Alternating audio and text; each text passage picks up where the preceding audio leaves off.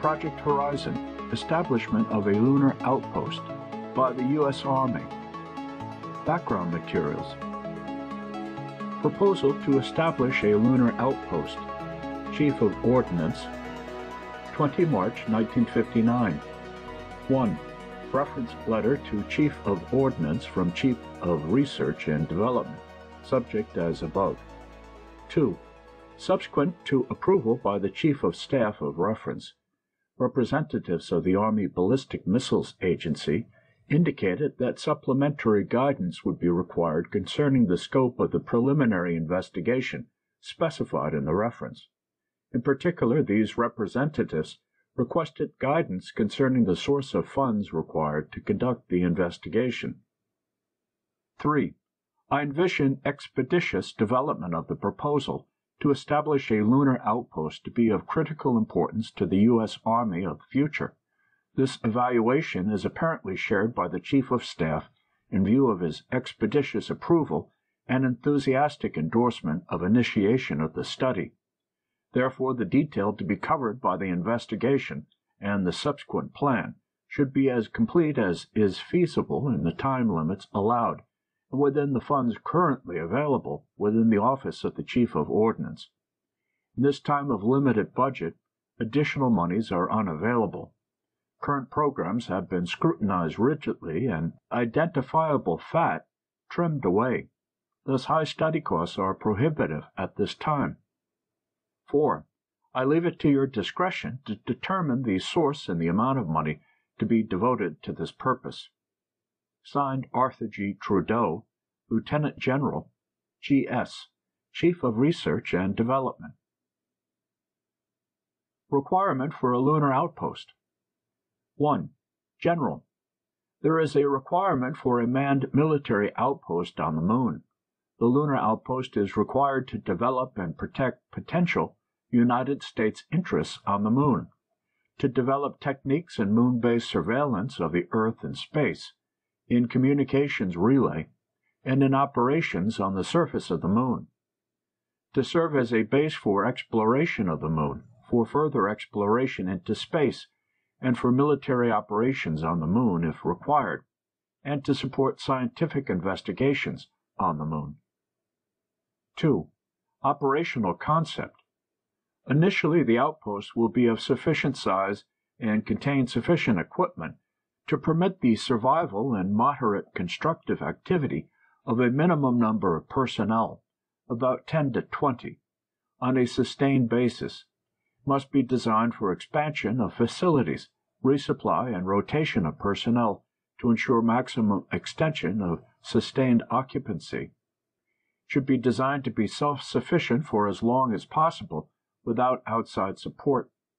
In the location and design of the base, consideration will be given to operation of a triangulation station of a moon-to-Earth baseline space surveillance system facilitating communications with and observance of the Earth, facilitating travel between the Moon and the Earth, exploration of the Moon and further exploration of space, and to the defense of the base against attack if required.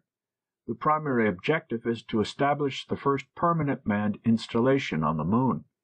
Incidental to this mission will be the investigation of the scientific, commercial, and military potential of the Moon.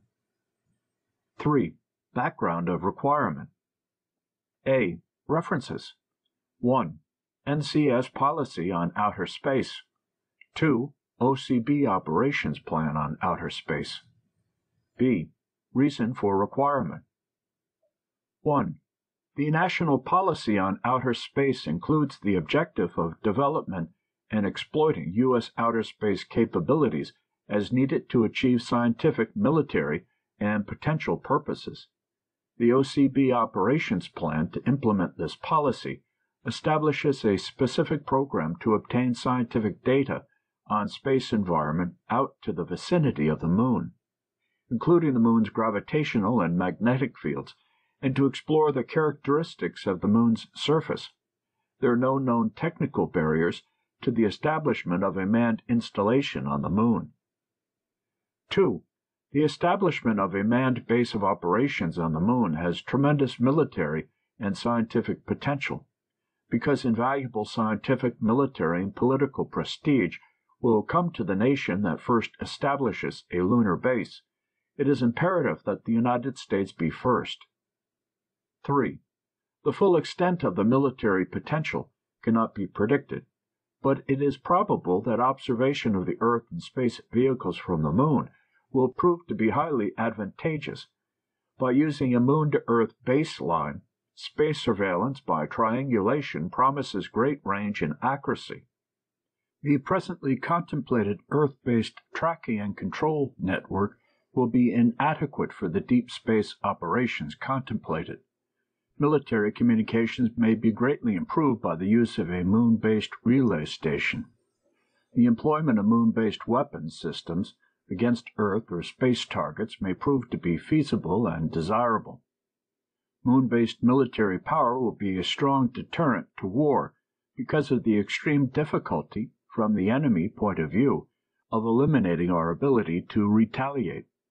Any military operation on the moon will be difficult to counter by the enemy because of the difficulty of his reaching the moon, if our forces are already present and have means of countering a landing or of neutralizing any hostile forces that has landed.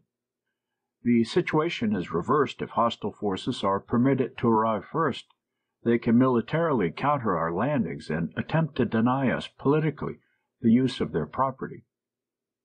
4. The scientific advantages are equally difficult to predict, but are highly promising. Study of the universe, of the moon, and of the space environment will all be aided by scientific effort on the moon. Perhaps the most promising scientific advantage is the usefulness of a moon base for further exploration into space materials on the moon itself may prove to be valuable and commercially exploitable. 4. Organizational concept.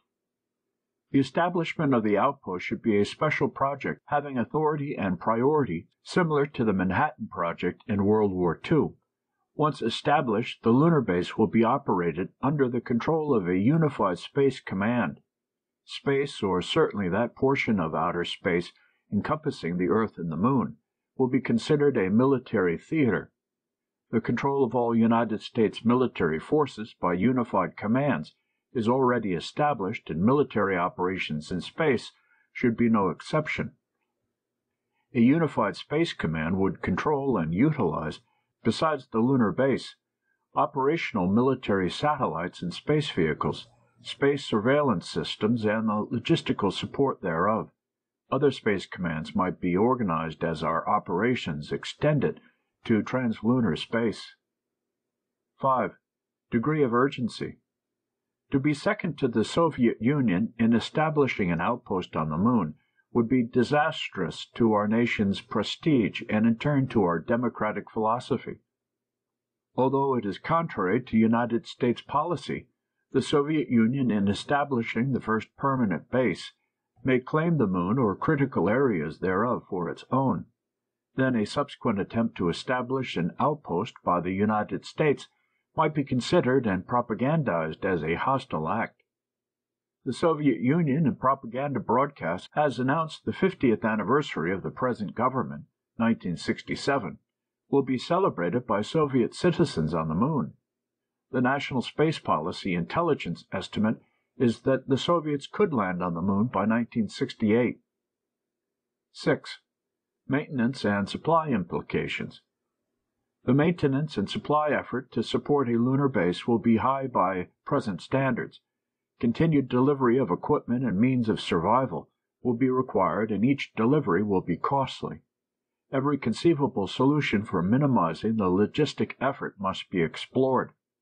Maximum use of any oxygen or power source on the moon through regenerative or other techniques must be exploited.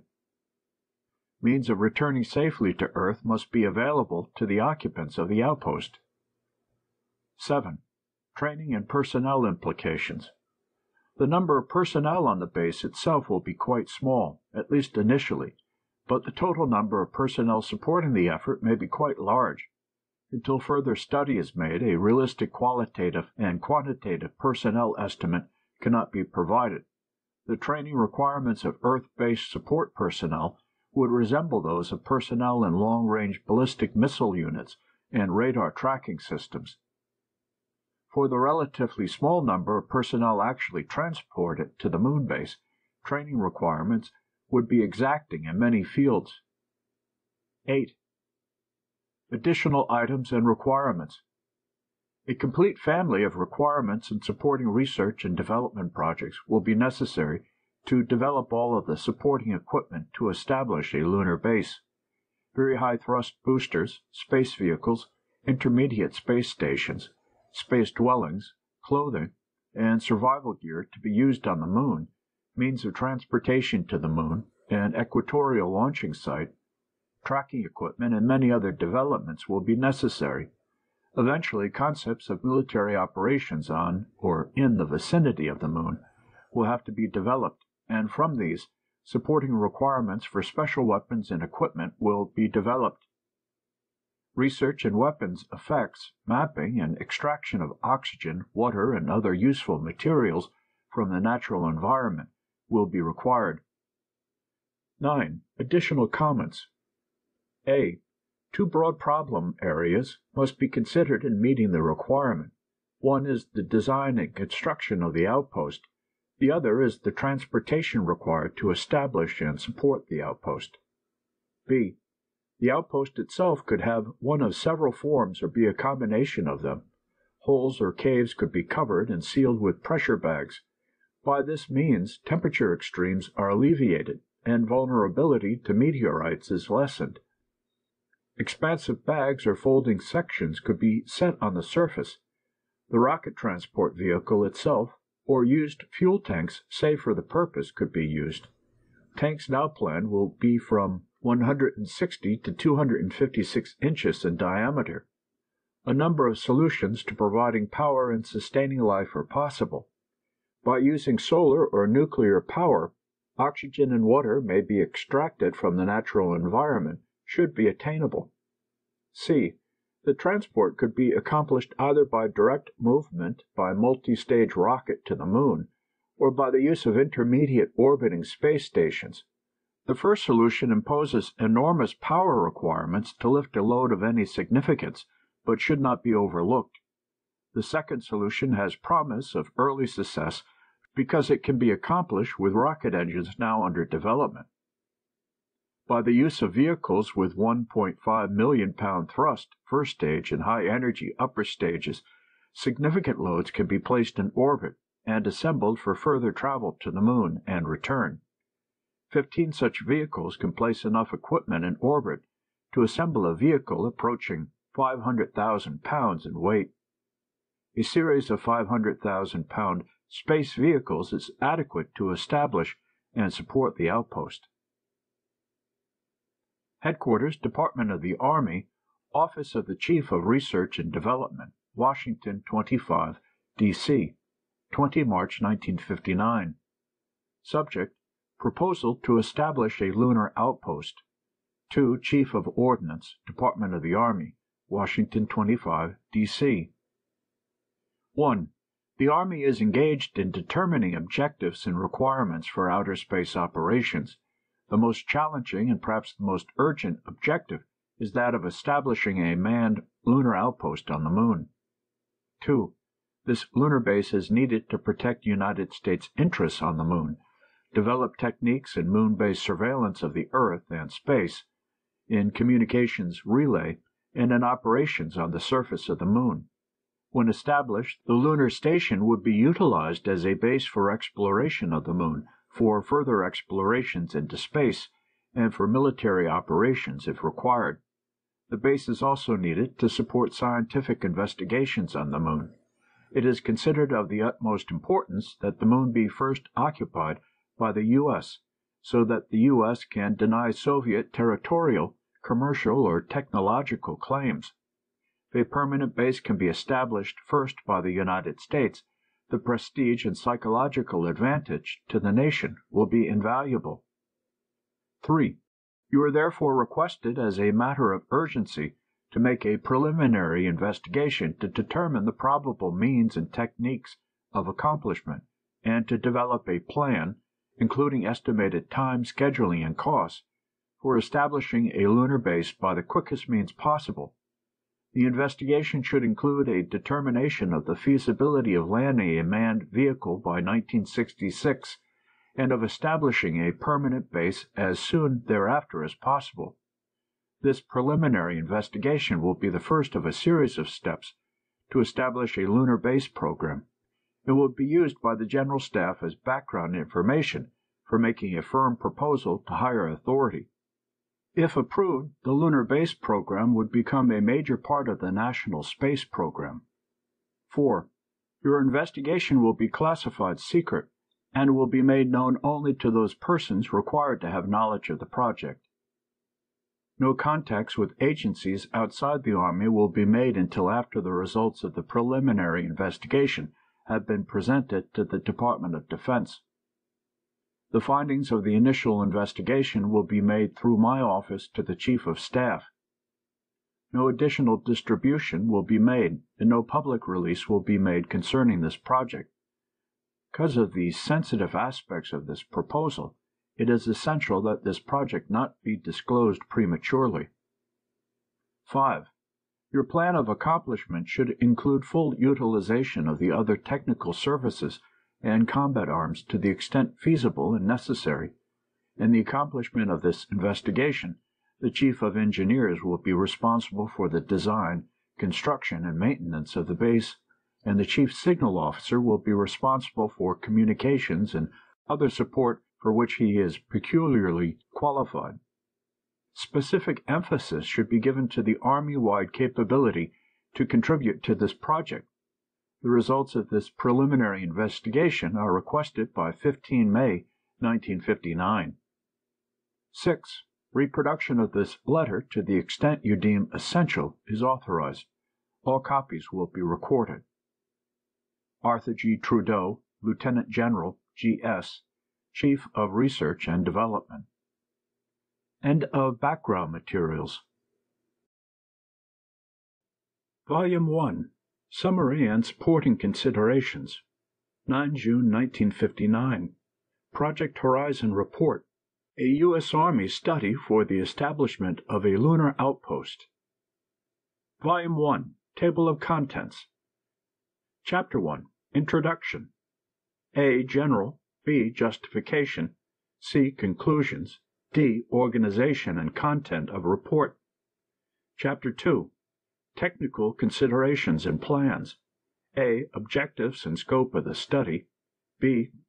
Resume of the technical program; c. Outpost; d. Space transportation system; e. Transportation system integration; f. Communications electronics; g. Launch site; h. Program logistics; i. Research and development.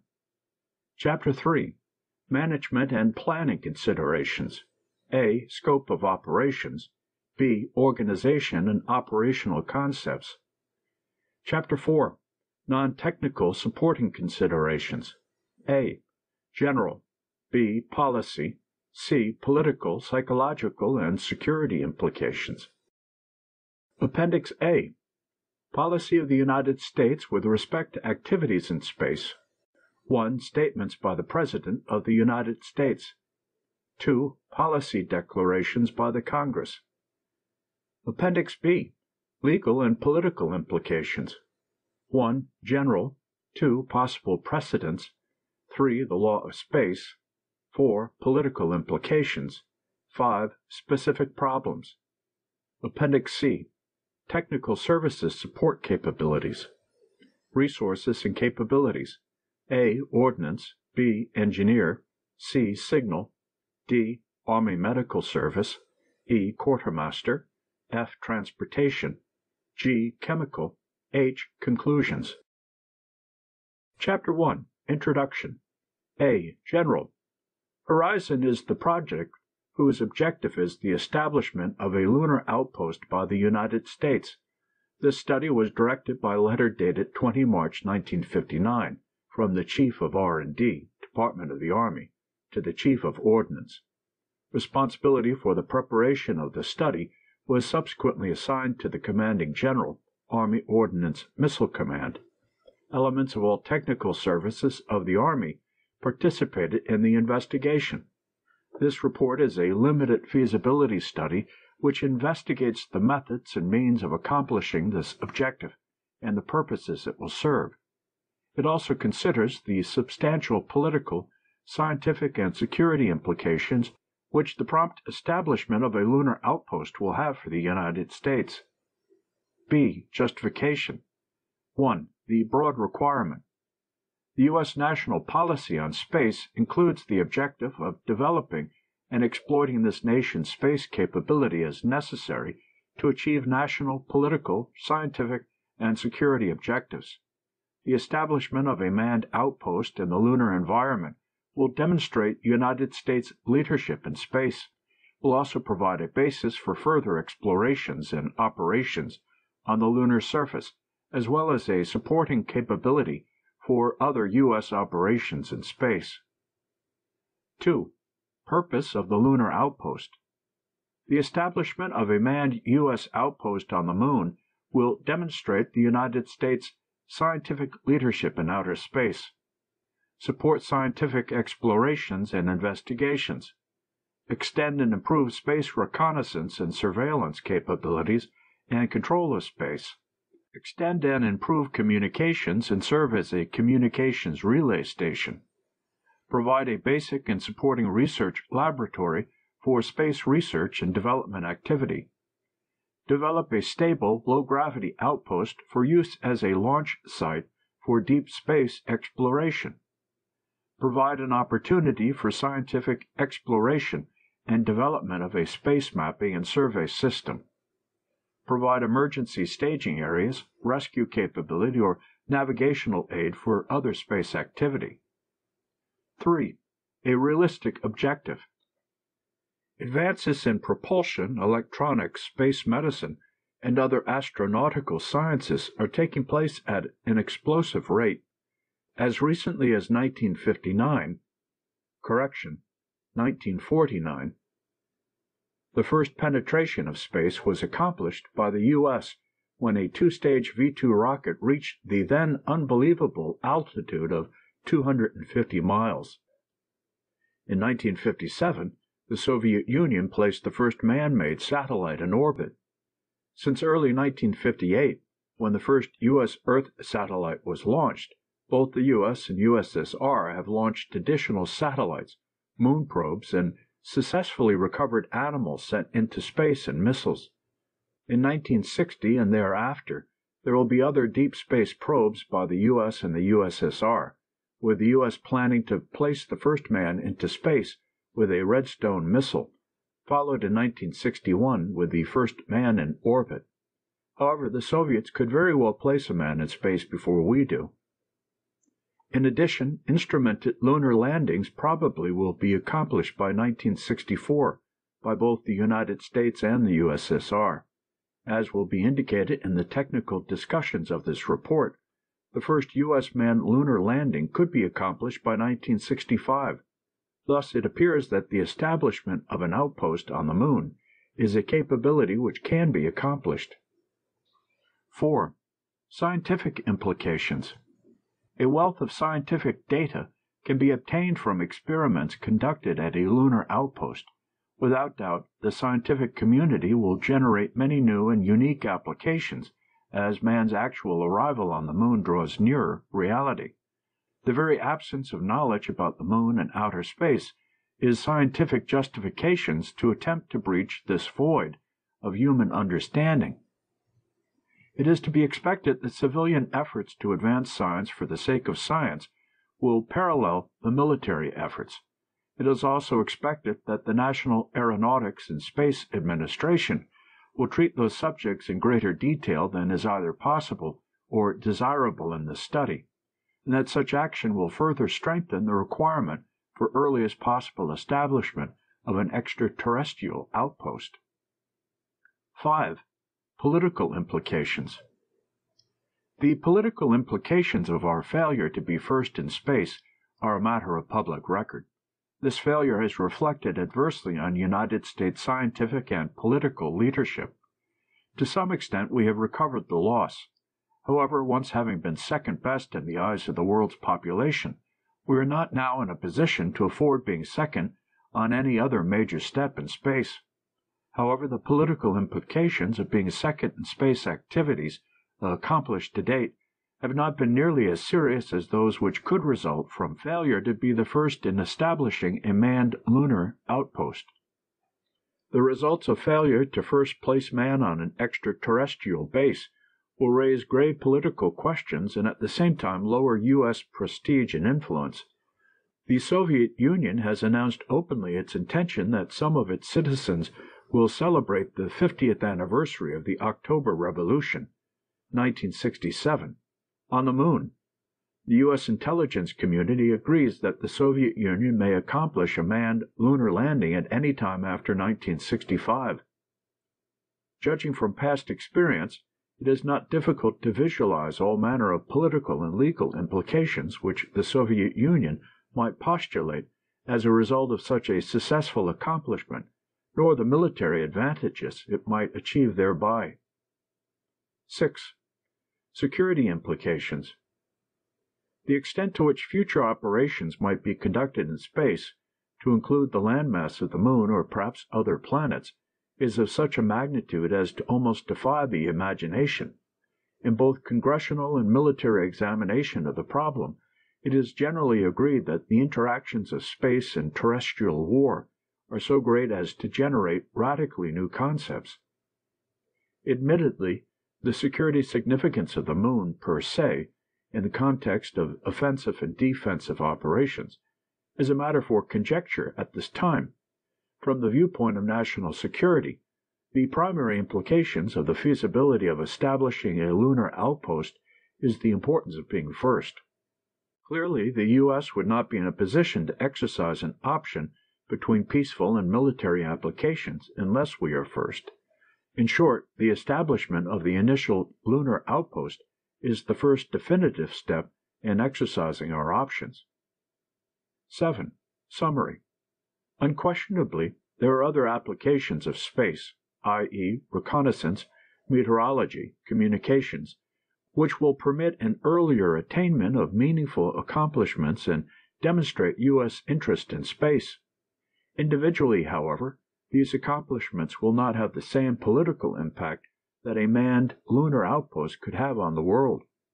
In the still vague body of fact and thought on the subject, world opinion may view the other applications similar to action on the high seas, but will view the establishment of a first lunar outpost as similar to proprietary rights derived from first occupancy.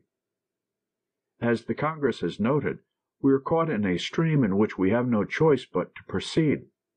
Our success depends on the decisiveness with which we exercise our current options. The lunar outpost is the most immediate case.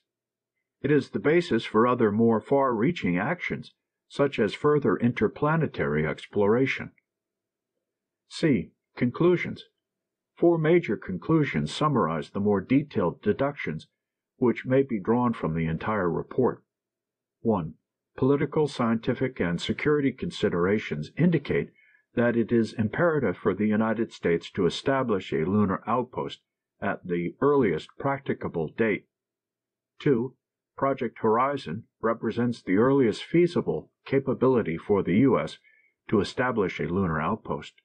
By its implementation, the United States can establish an operations lunar outpost by late 1966 with the initial manned landings to have taken place in the spring of 1965. 3. The importance of an early decision to proceed with the program, coupled with adequate funding, must be clearly understood. Inordinate delay will have two inescapable results. A. The program's ultimate accomplishment will be delayed, thus forfeiting the chance of defeating the USSR in a race which is already openly recognized as such throughout the world.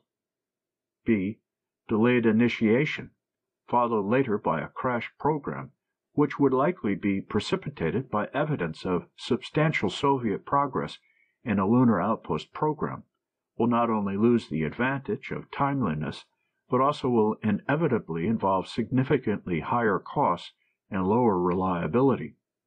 The establishment of a U.S. lunar outpost will require very substantial funding whether it is undertaken now or ten years hence. There are no developments projected for the predictable future which will provide order of magnitude type price reductions. 4. The U.S. Army possesses the capability of making significant contributions in all aspects of such a program. D. Organization and content of the report.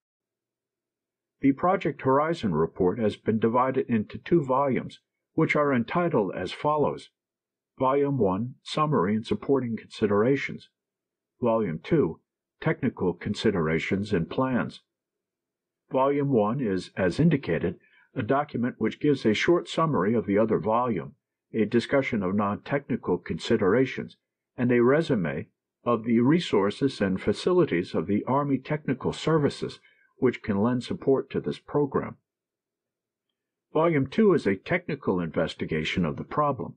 It includes practical preliminary concepts for all elements of the program, and in many cases relates actual hardware available from current programs to the solution of specific problems. It includes a broad development approach and a funding breakout by fiscal year.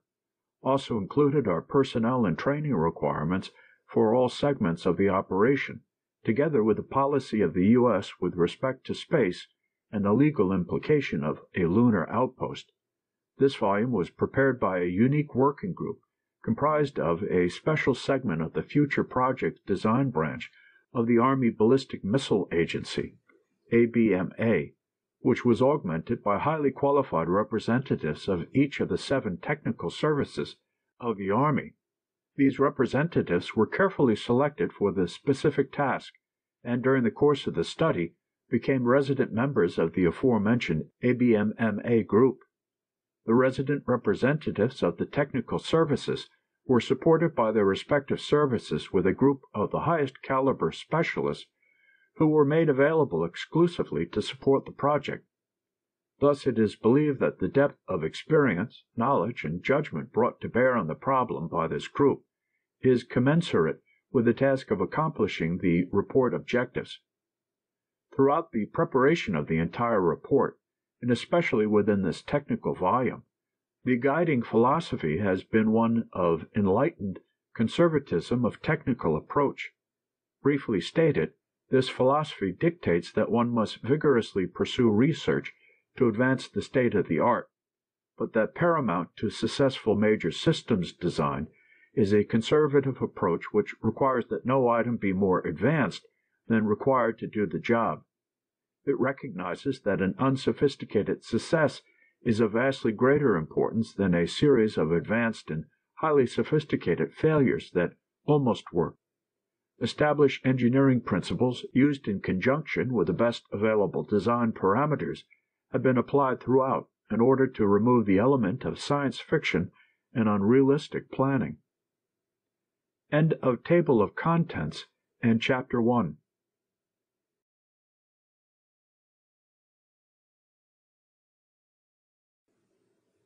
Chapter 2 Technical Considerations and Plans A. Objectives and Scope of the Study. This part of the study presents applicable technical information which substantiates the feasibility of the expedited establishment of a lunar outpost, and it relates U.S. capabilities and developments to the accomplishment of the task.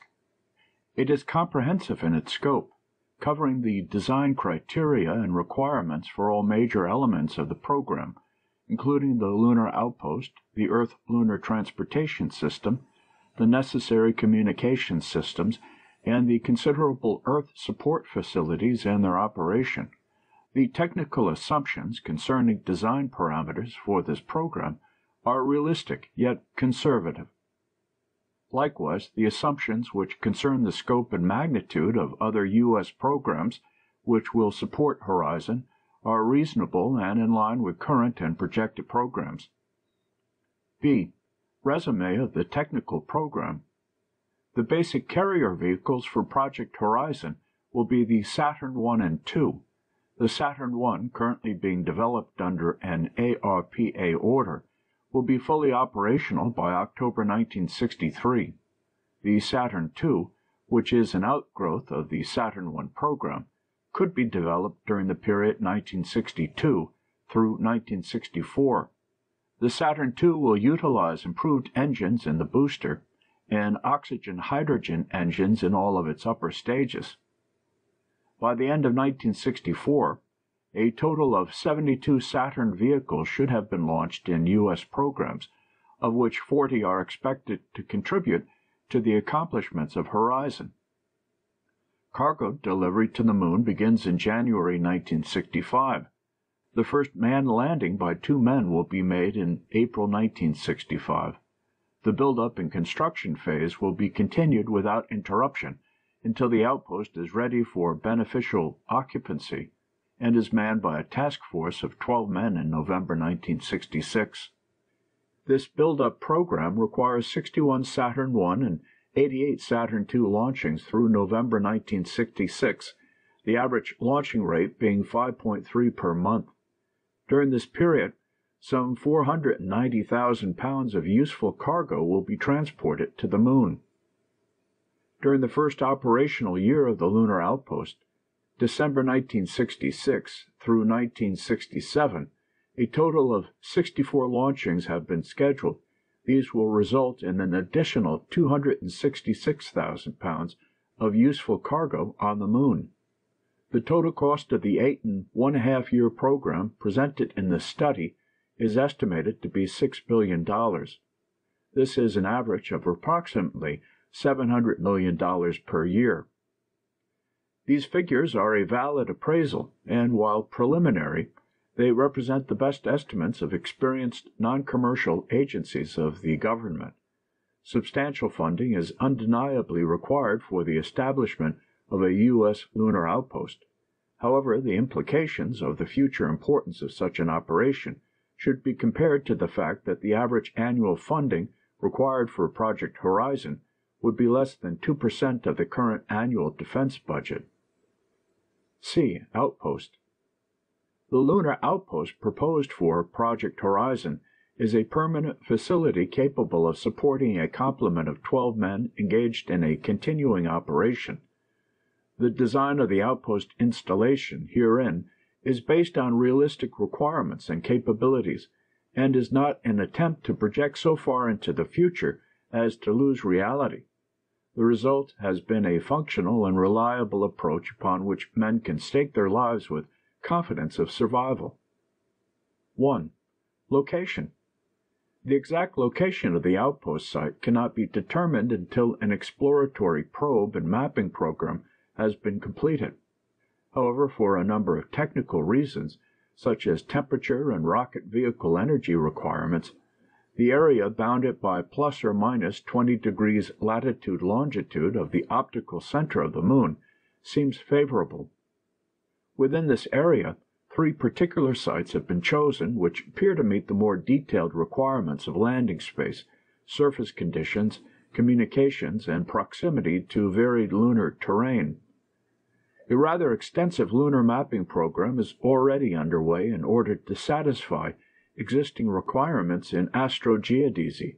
Maps to a scale of 1 to 500 million and 1 to 1 million are planned for completion by December 1960 and August 1962, respectively. Larger scale mapping will then be undertaken for several specific site selections. 2. Design criteria. The design of the lunar outpost facilities will of course be dominated by the influence of two factors, the lunar environment and the space transportation system capabilities. A few of the more pronounced primary lunar environmental parameters are listed below. A. Essentially no atmosphere. B. Surface gravity approximately one-sixth Earth gravity. C. Radius of approximately 1,000 miles is about one quarter that of Earth. This results in a significant shortening of the horizon as compared to Earth. D. Surface temperature variations between a lunar day and night of plus 245 degrees Fahrenheit to minus 202 degrees Fahrenheit. E. Maximum subsurface temperature at equator is minus 40 degrees Fahrenheit. These and many other unfamiliar environmental conditions require that every single item which is to be placed on the lunar surface have a design which is compatible with these phenomena. However, a careful determination has been made of man's requirements to live in this environment, and it appears that there is no area which cannot be adequately solved within the readily available state of the art. 3. Outpost facilities and their installation. The first two men will arrive on the lunar surface in April 1965. They will be guided to an area in which the cargo buildup for future construction has already begun. Their landing vehicle will have an immediate return to Earth capability.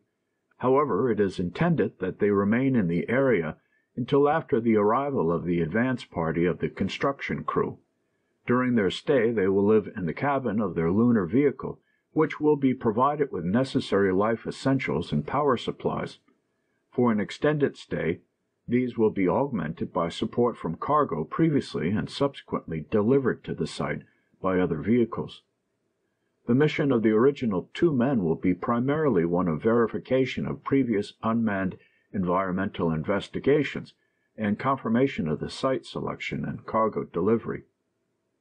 Figure one 1.1 shows the Horizon outpost as it would appear in late 1965. After about six months of construction effort, the basic building block for the outpost will be cylindrical metal tanks 10 feet in diameter and 20 feet in length.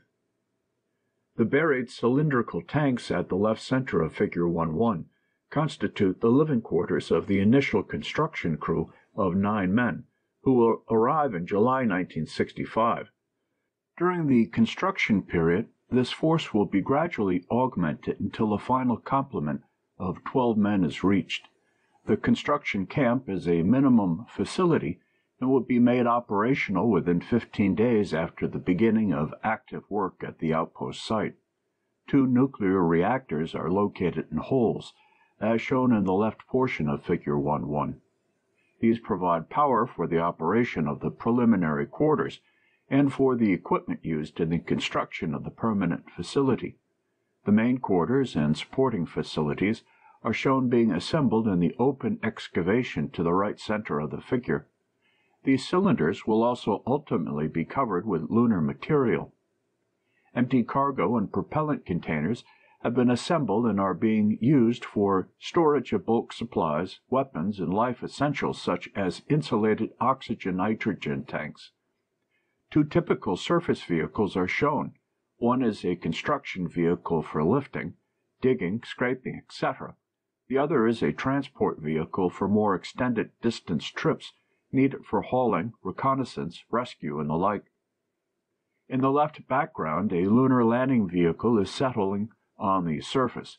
A lightweight parabolic antenna has been erected near the main quarters to provide communications with Earth. The basic completed outpost is shown in Figure One Four.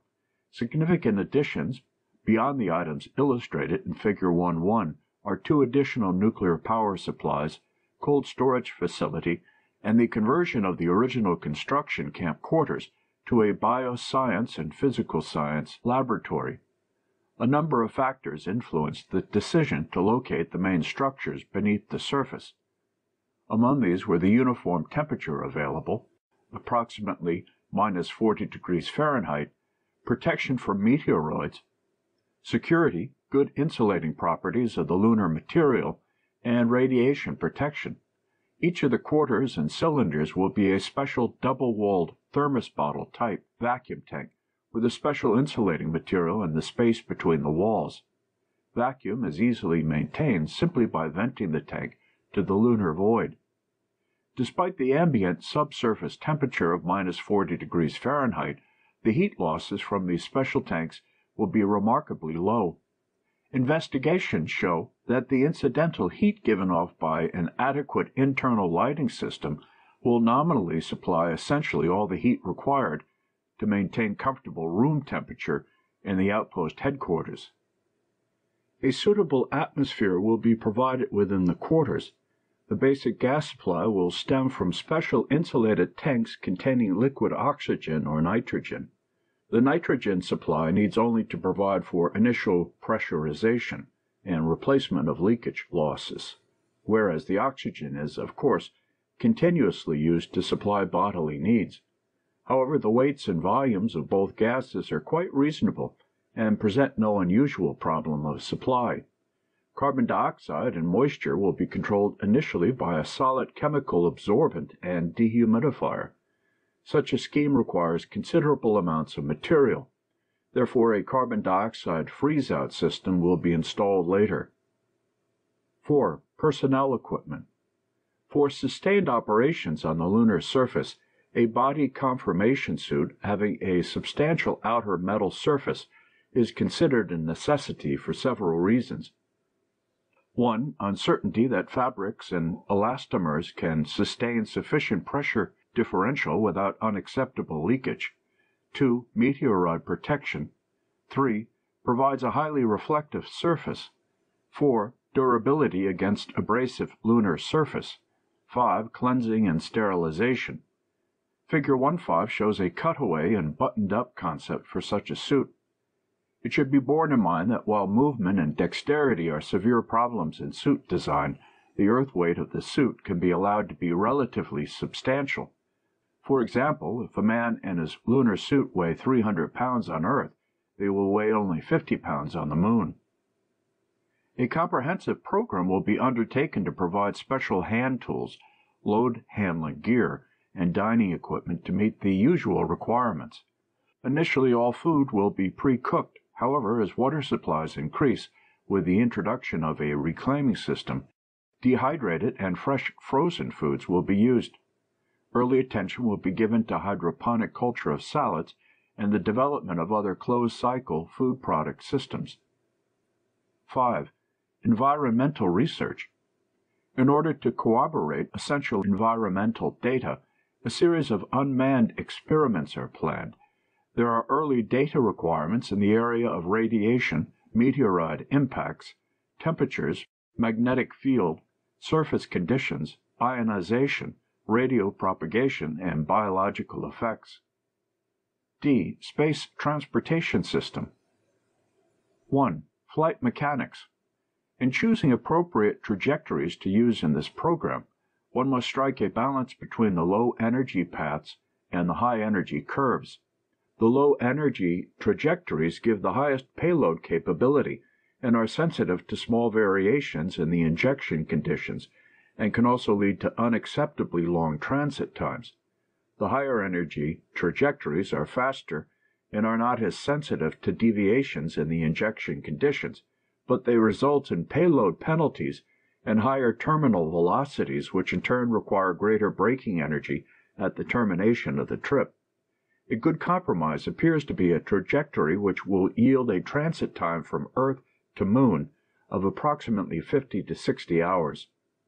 Several different trajectory schemes will be used in Project Horizon. They include trajectories for transit, one direct from the Earth to the Moon, two from Earth to a 96 minute 307 nautical mile altitude orbit of the Earth, three from this 96 minute Earth orbit to the Moon, and four direct from the Moon to Earth. In addition, there are special considerations for the terminal phase of each type trajectory. Figure 1.6 illustrates the two basic schemes of transporting man and cargo from Earth to the Moon. The first scheme, one above, is the direct approach, that is, a vehicle would depart the Earth's surface and proceed directly to the lunar surface using a retro rocket or landing stage for the final landing maneuver. Since the moon has no appreciable atmosphere, a rocket-type propulsion system will be required for the landing. The second scheme, 2 and 3 above, shown, is that for proceeding first into an Earth orbit and later departing the orbit for the flight to the lunar surface, again using a landing stage. In either scheme the flight time from the Earth or Earth orbit to the moon will be the same. The direct scheme, which is the most straightforward, has two advantages. First, it offers the shortest flight time from the Earth's surface to the lunar surface since an orbital stopover is not required. In the orbital scheme, much larger payloads can be transported into orbit, assuming the vehicle size to be constant, and by accumulating payloads in orbit, it is possible to transport a payload to the moon on the order of ten times and more, if desired, the capability of a single vehicle flying directly to the moon. To illustrate this point, it has been assumed in the study that the first men arriving on the moon will be provided with an immediate return capability. Figure 1.7 depicts the vehicular requirements for the two schemes. The direct approach would require a six-stage vehicle with a liftoff thrust of 12 million pounds, as compared to a 2 million pound thrust vehicle for the orbital schemes. By placing the upper stage and payload of 2 million pound thrust vehicle into orbit, and with additional vehicles as shown, performing a fuel transfer and checkout operation, the same mission, that of transporting two men to the moon and returning them to Earth could be accomplished. It should be pointed out, however, that if the United States is to have a manned lunar outpost by 1966, and at the same time provide the first men arriving on the moon with the desired return capability, the orbital approach is mandatory, since a 12 million pound thrust vehicle will not be available to meet the required schedule. For the return to Earth, from either the Earth orbit or the lunar surface, aerodynamic braking will be used since it allows significant overall payload increases when compared to rocket braking. The aerodynamic braking body used for this study is similar in shape to a Jupiter missile nose cone, modified by the addition of movable drag vanes at the base of the cone. Though the size varies, the same basic shape was considered for use from the lunar surface to Earth, as was for use from the 96 minute orbit to the Earth's surface. Studies show that within acceptable limits of entry angle, the vehicle can make a successful descent which is well within the physical tolerances imposed by man's presence, and which can be guided with acceptable accuracy for final recovery. The recent successful flight and subsequent recovery aboard a nose cone further substantiates the validity of this approach to Earth return braking. This test vehicle was fired to IRBM range and Due to the steep reentry angle, the decelerative forces associated with this operation were many times greater than expected for Project Horizon trajectories. 2. Orbital carrier and space vehicles. Only two basic carrier vehicles are required to carry out Project Horizon Saturn I and a further development, Saturn II. The Saturn I vehicle, shown in figures 1.8 and 1.9, consists of a clustered booster with a liftoff thrust of 1,504,000 pounds, a twin engine second stage of about 360,000 pounds of thrust, and a LOX hydrogen O2H2 third stage of 30,000 pounds of thrust. The initial performance of this vehicle will enable it to place 30,000 pounds of net payload in a 96 minute orbit and 7,500 pounds of net payload to Earth escape velocity, will be powered by eight North American H-1 engines, which are a greatly simplified version of the engine used in Jupiter, Thor, and Atlas. The second stage is a modified version of the Titan booster. The third stage is a modified Centaur vehicle currently under development by Pratt & Whitney and Convair. The Saturn II vehicle figures 110 and 111, is based on a modified Saturn I booster. The North American H1 engines of the original version will be replaced by H2 engines, which will uprate the total thrust by one third to a sea level value of 2 million pounds. The second stage will incorporate two 500,000 pound thrust H2O2 engines a third stage will utilize two 100,000 pound thrust H2O2 engines. A fourth stage will use one such engine. Present feasibility studies indicate a Saturn II payload capability of 70,000 pounds into a 96 minute orbit using three stages and 26,750 pounds to Earth escape velocity using four stages. The development of such a vehicle will provide the nation a new optimum vehicle for the utilization of the Saturn booster. The prime requirement for the development of such a vehicle is an expansion of current high energy O2H2 engine programs to include development of 100K and 500K engines. As mentioned earlier, 6,000 pounds of useful cargo can be soft landed on the moon with the direct method. As presented herein, only cargo will be transported in this manner, although there is a discussion of how personnel could also be transported to and from the moon utilizing the direct method. The second form of conveyance requires two steps.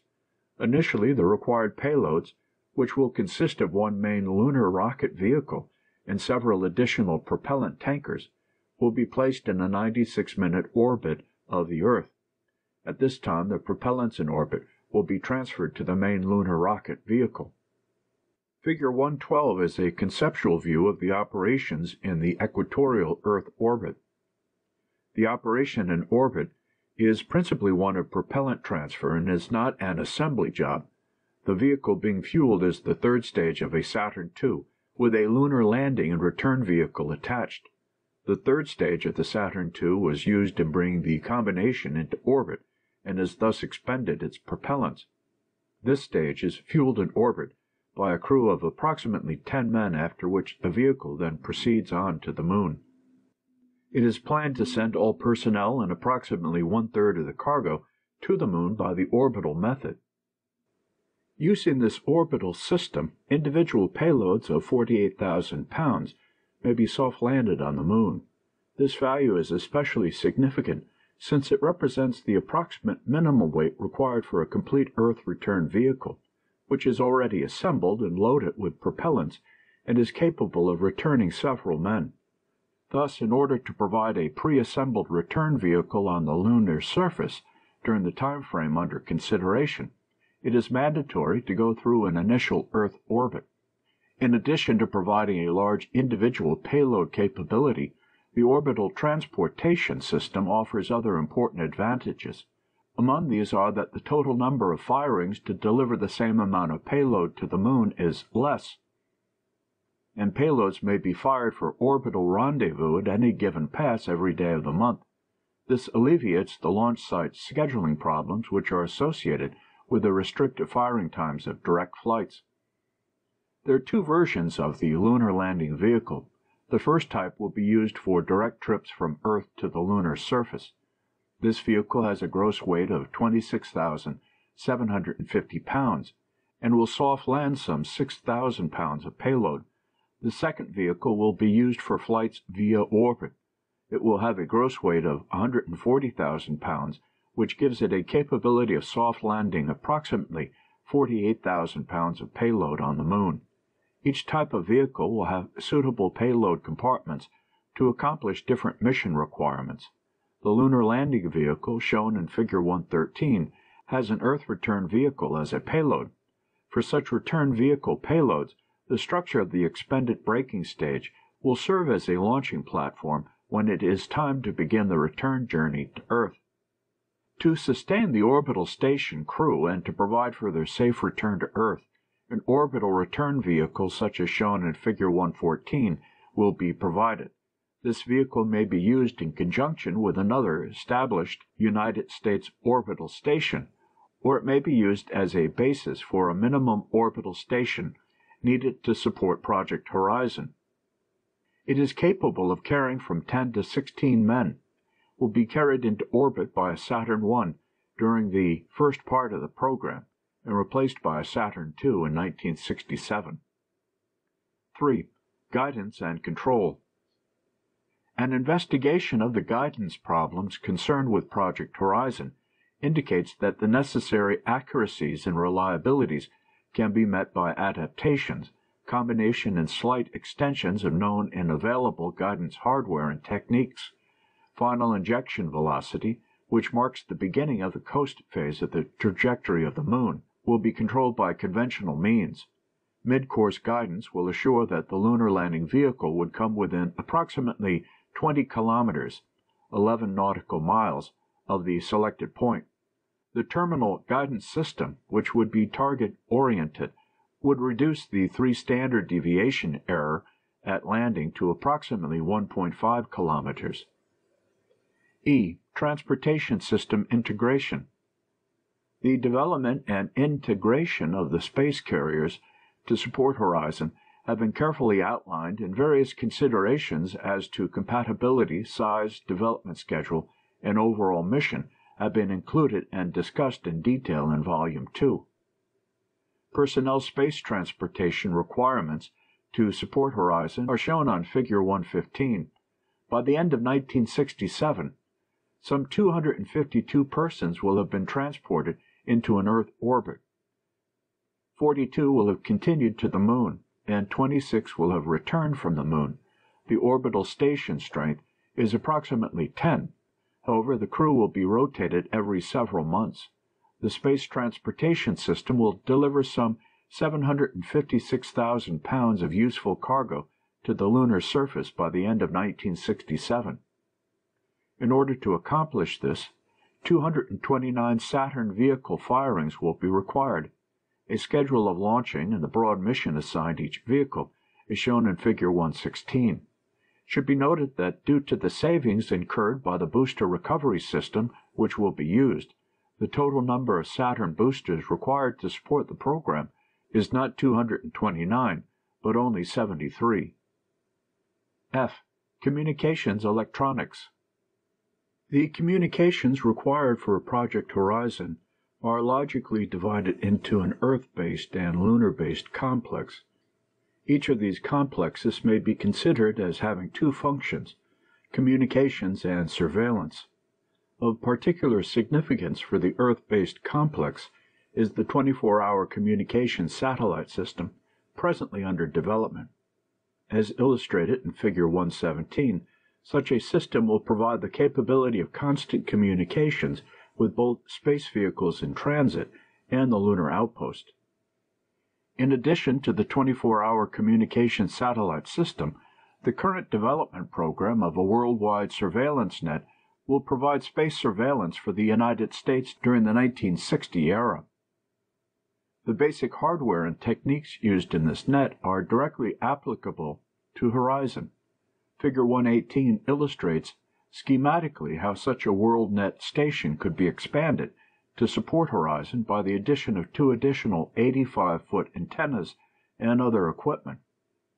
Communications on the lunar surface will pose special problems due in a large part to the lack of atmosphere and the relatively high curvature of the surface. However, careful investigation reveals no problems which cannot be solved by an appropriate research program. In a number of areas, current developments appear almost directly applicable. For example, the small helmet-mounted radio currently in production for troop use.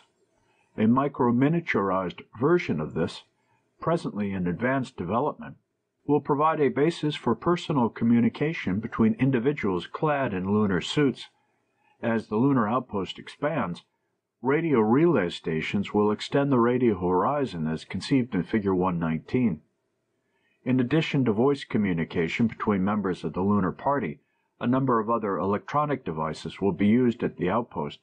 These include TV receipt and transmission, transmission of still photographs, homing and location devices, instantaneous self-contained emergency communications packs for distress signals to Earth, infrared detectors and radar detectors.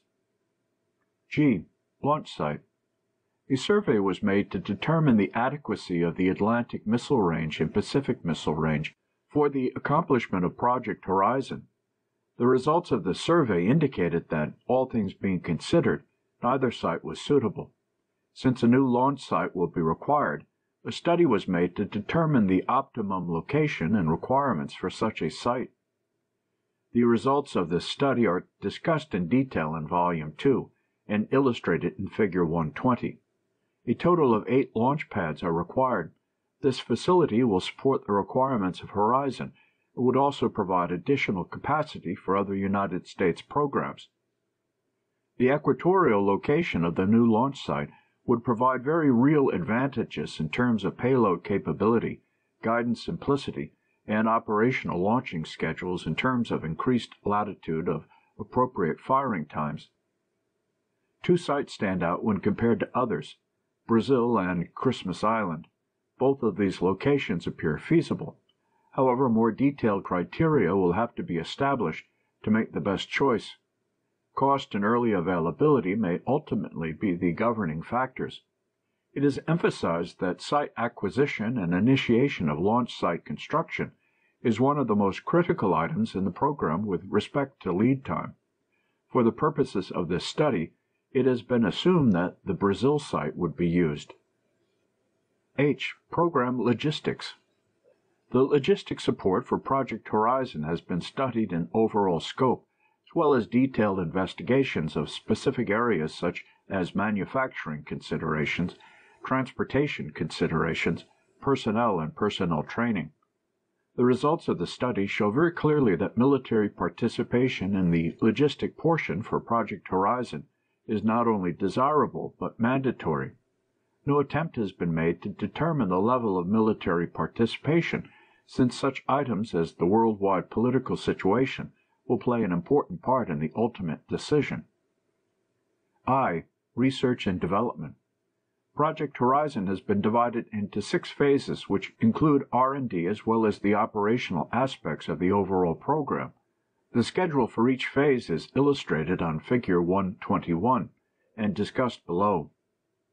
Phase 1, the initial feasibility study, was completed on 9 June 1959 and is contained in this two-volume report. Phase 2, the detailed development and funding plan will require a more detailed study with limited experimentation. This phase will require approximately eight months to complete and will cost $5.4 million. Phase 3, the hardware development and system integration phase, constitutes the majority of the development effort. In Phase 3, all systems, space transportation, communications outpost, etc., subsystems, space vehicles, communications, ground and relay stations, etc., components, rocket engines, communication transmitters and receivers, etc., schemes and procedures, orbital rendezvous, orbital fuel transfer, etc., required to accomplish the project objectives will be developed. Phase 4.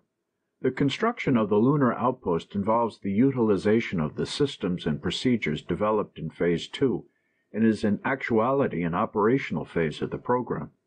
The completion of this phase will accomplish the initial objective of the program, establish a manned lunar outpost. Phase 5. The initial period of outpost operation will begin in December 1966 and will constitute the first completely operational phase of the program. Phase 6. The expansion of initial outpost operational capabilities could begin at any time after December 1966. For the purpose of this study, it has been assumed to begin in January 1968. 1. Basic and supporting research. The importance of a strong basic and supporting research effort in support of a project of this nature cannot be overstated. Typical areas requiring attention are food and oxygen, clothing, chemical, biological, radiological, biomedical, vacuum conditions, weightlessness, meteoroids, lunar-based systems, moon mapping, explosives and lunar environment, power generation, material and lubricants, liquid hydrogen production and handling, and lunar soil mechanics. 2. Project Horizon Development Program. As mentioned above, a strong basic and supporting research program will be required to accomplish the Horizon Development Program and ultimately the project objectives. The development program for this project is basically covered by the first three phases of the project outlined above, the first of which has been completed. Phase 2, the next step in the development program, must be accomplished in the timescale indicated in Figure 121 if the United States is to succeed in establishing the first lunar outpost. The development plan, generated in Phase 2, will spell out in considerable detail the developments required in Phase 3, as well as requirements for later phases. Basically, Phase 3 will be the development portion of the project. All development required to accomplish the project objectives will be satisfied. 3. Research and development facilities. Several unique facilities will be required to support Horizon. Figure 122 is a view of a large lunar environmental simulator which will provide a capability for research, development, testing, and training for Horizon, as well as other projects in the National Space Program. Figure 123 illustrates a space flight simulator which will provide for research and training of effects associated with boost acceleration, coasting, weightlessness, and braking deceleration. In addition, medical research facility is located in conjunction with this site. End of chapter 2.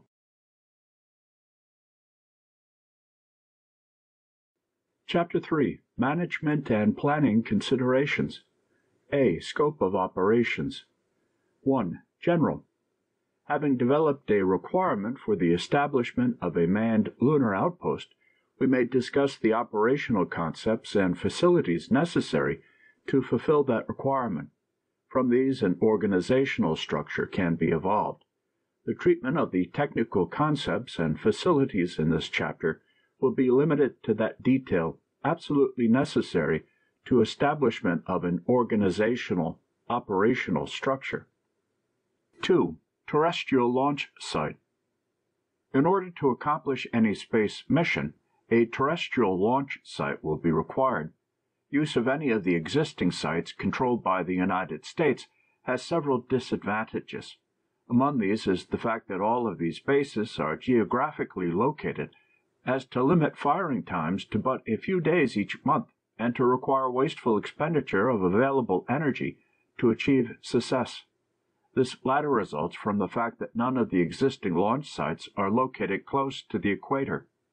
Furthermore, once human beings are either placed in orbit or dispatched on planetary missions, there can be no interfering problems regarding scheduling of firings, either regular or emergency. Physical space difficulties resulting from supply buildup or other logistic considerations, etc. The terrestrial launch site is expected to evolve into an operational complex supporting both continued R&D and firing by operational units with orbital or other space missions. Existing United States launching complexes are devoted primarily to R&D firings of weapons systems. Most such complexes are rapidly becoming saturated with such firings in the confines of their present areas.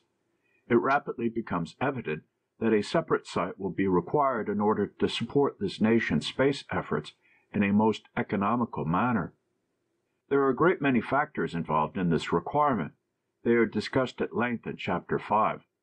Three major factors influencing requirements are (a) operational need for having an orbital station in an equatorial orbit to simplify the rendezvous problem; (b) high payload penalty and complexity of trajectory problem involved in dog-legging into equatorial orbit from a non-equatorial launch site; (c) magnitude of effort required to implement the objectives of this operation.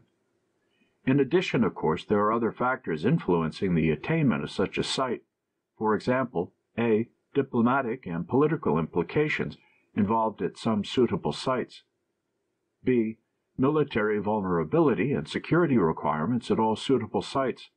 These are relative choices not necessarily consistent with the best diplomatic or political choice. (C) Cost may be reasonably assumed here based on the above mentioned factors and detailed technical considerations in Volume II, that an equatorial launch site will be selected. It will be the terrestrial site from which this nation dispatches its first man destined to set foot on the lunar surface. This site will provide a capability to conduct additional space missions in fulfillment of other requirements. For the site to be operational in sufficient time, Action is demanded immediately in negotiations required for acquisition.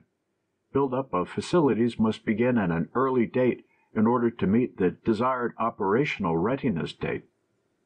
A terrestrial launch site, which supports the lunar outpost project during the early technical effort, should also support it during the operational phase. There will be practical requirements for the utilization of the launch site for other projects possibly involving military R&D military operations and the National Aeronautics and Space Administration. Practical problems thus raised are subsequently treated under organizational considerations. 3. Orbital station. In order to successfully accomplish lunar soft landings in the time frame under consideration, firings must be undertaken either directly from the earth's surface to the destination or by means of an intermediate station in orbit about the earth. The former approach requires the expenditure of tremendous amounts of energy for relatively small payloads. Therefore, it cannot provide an immediate return capability in the proposed time frame, using the boosters then available. Under those conditions, the orbital station, providing larger payloads and immediate emergency return capability from the Moon, is the most desirable choice for transport of personnel. During early transit operations through the orbital station, facilities in orbit will be on a minimal essential, austere basis, We'll have rendezvous, refueling, and launch capabilities, but not a vehicle assembly capability. During this period will be little more than an interim assembly of fuel tanks and other hardware in orbit. Personnel involved in its operation will utilize their Earth-to-orbit to Earth vehicle as living quarters for the duration of their stay in orbit. Until an orbital station is developed to a higher order of operational autonomy in support of this and perhaps other operations, will be under the immediate operational control of the terrestrial launch site. Throughout the operation, assembly of equipment in orbit must be directed toward the eventual establishment of more sophisticated orbital stations. As indicated previously, an early improved station may be constructed from 22 vehicle shells. Prior to any expansion of lunar outpost operations, sufficient tankage will have been placed in orbit to permit construction of two or three such stations. Having more than one station in orbit enhances future operational capability and flexibility by increasing numbers of possible firing times per month. Although it is considered premature in this preliminary feasibility study to establish an exact schedule for assembly of more sophisticated orbital stations, the operational requirement must be recognized now. Some considerations which affect implementation of this requirement are that a. No other program is likely to make available a similar amount of material in orbit without a previously established purpose. b. The demands of this program will use a considerable fraction of foreseeable or predictable large booster resources. c. The economy of using otherwise wasted resources to a constructive end. Early attainment of more advanced operational capability in the orbital station will contribute to other space activities as well as to this specific operation. Examples of such contributions are (a) space laboratory, acclimatization and training capability for personnel; (b) space laboratory for equipment; (c) materiel storage space; (d) low altitude communication relay; (e) earth surveillance, perhaps a security consideration in this specific operation; f. space surveillance; g. meteorological surveillance. H. Survey geodesy data collection. I. Instrumentation for test of Earth to space weapon effects. As the scope of operations at the orbital station increases, so will the interactions with other national space activities increase. Therefore, it can be expected to evolve into an independent agency supporting this terrestrial launch site and possibly others. 4. Lunar Outpost. This goal of the project is envisioned as falling into several basic areas as follows: (a) Life support and preliminary exploration.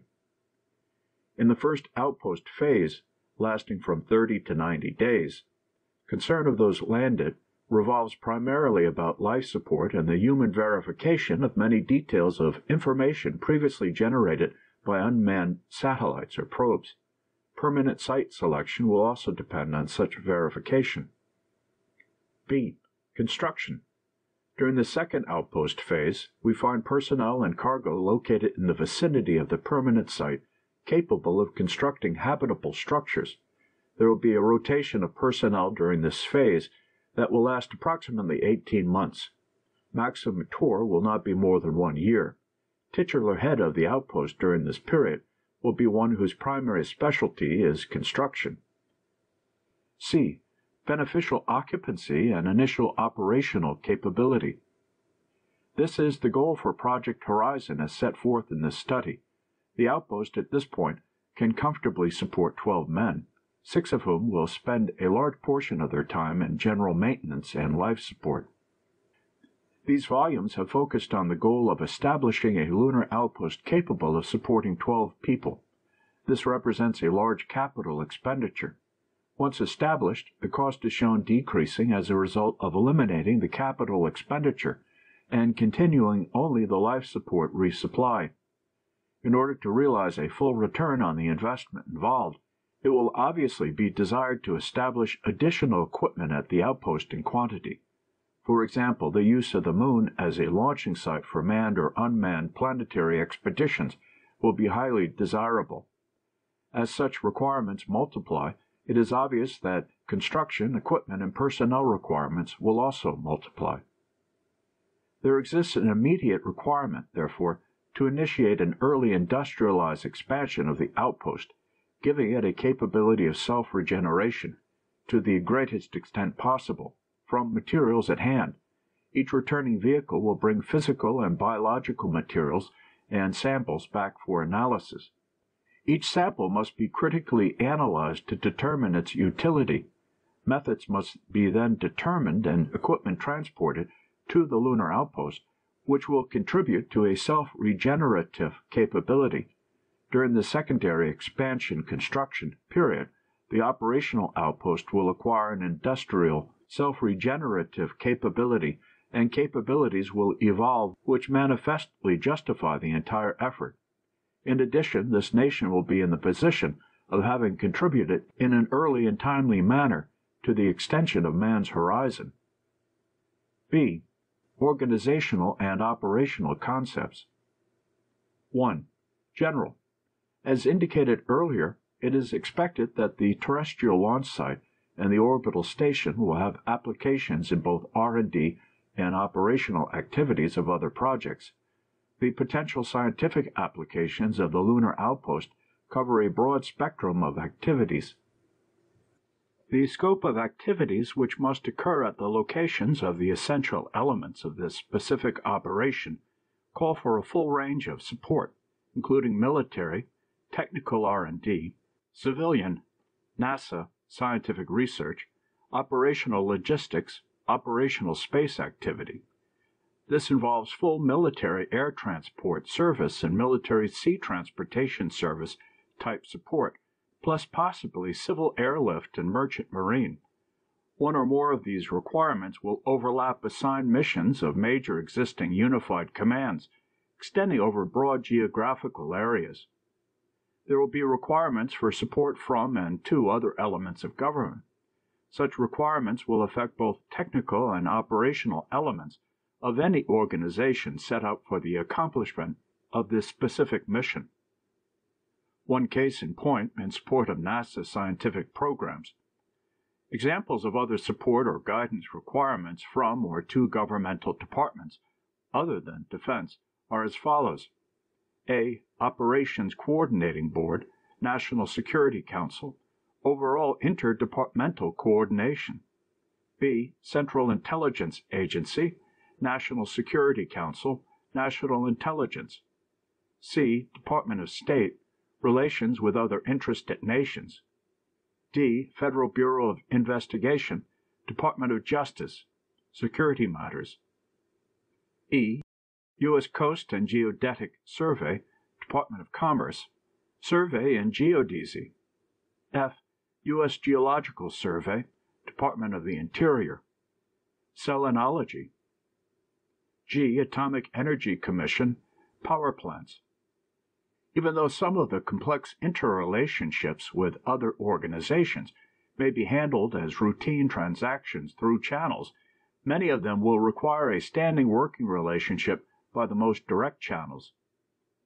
Political and diplomatic considerations evolving from site requirements could easily lead to a situation demanding a combined operation involving one or more countries. This would, of course, involve both the State Department and the Congress where treaty requirements arose. Alternative plans might include the lease in perpetuity of some land rights.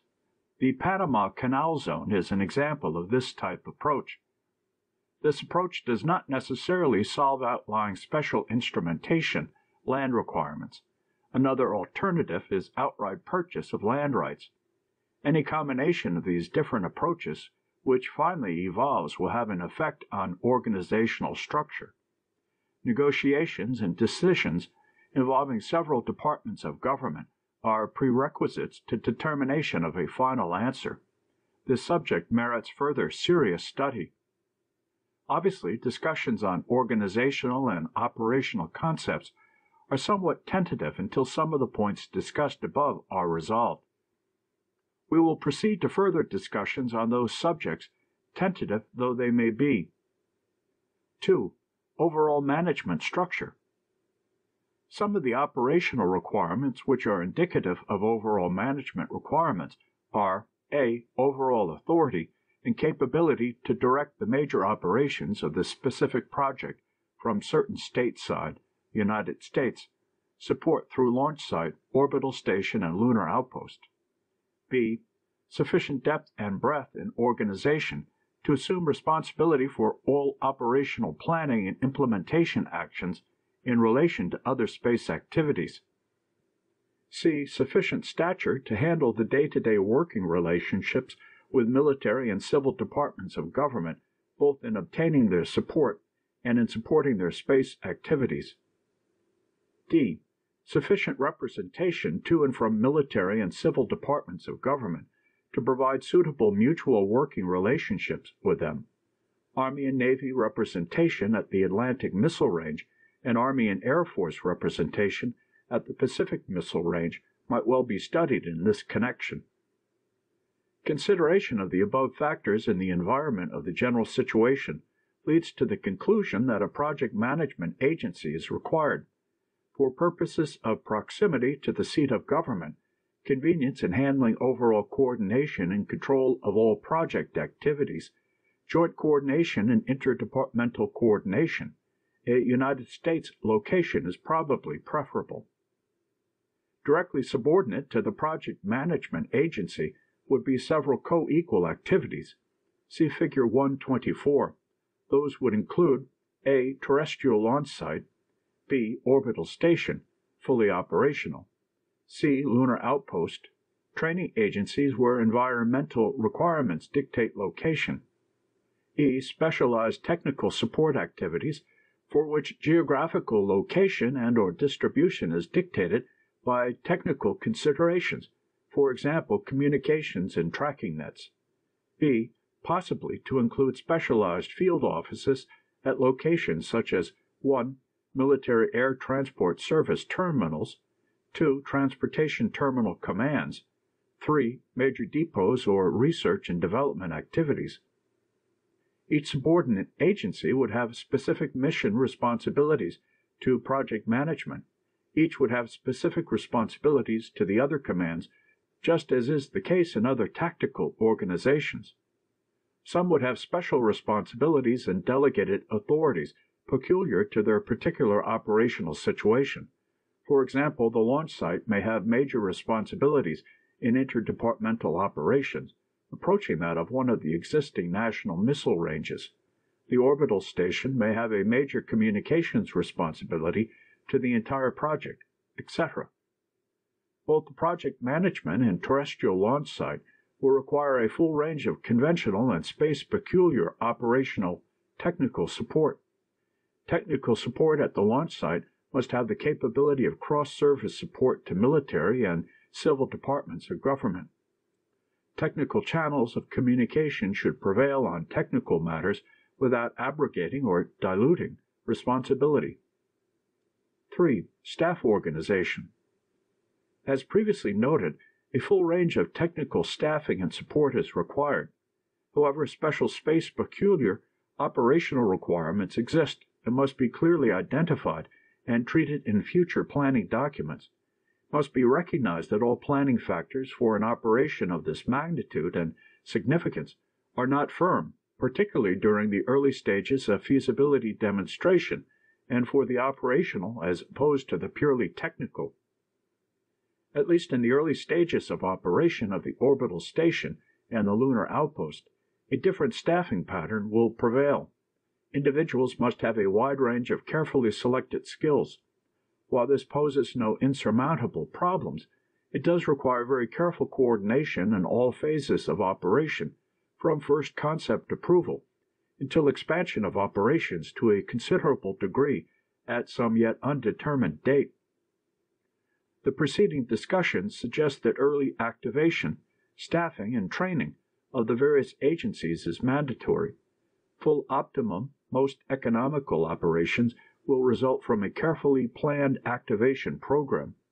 Waiting until the full requirements is imminent would, in any given instance, delay or hazard some facet of operations. End of chapter 3.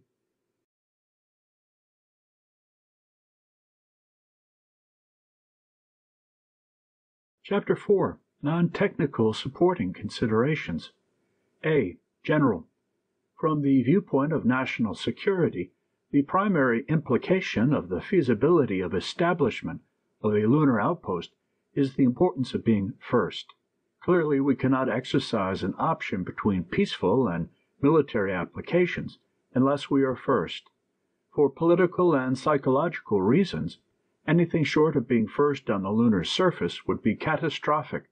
Being first will have so much political significance that no one can say at this time what the absolute effects will be. However, it is apparent from past space accomplishments that being second again cannot be tolerated. B. Policy. Any new venture of the magnitude of this study creates an immediate requirement for both general and specific policy guidance. Policy is a product of times and circumstances. Man's experience in space matters is short, and the circumstances of his space activities are extensions of all the complex relations which preceded them.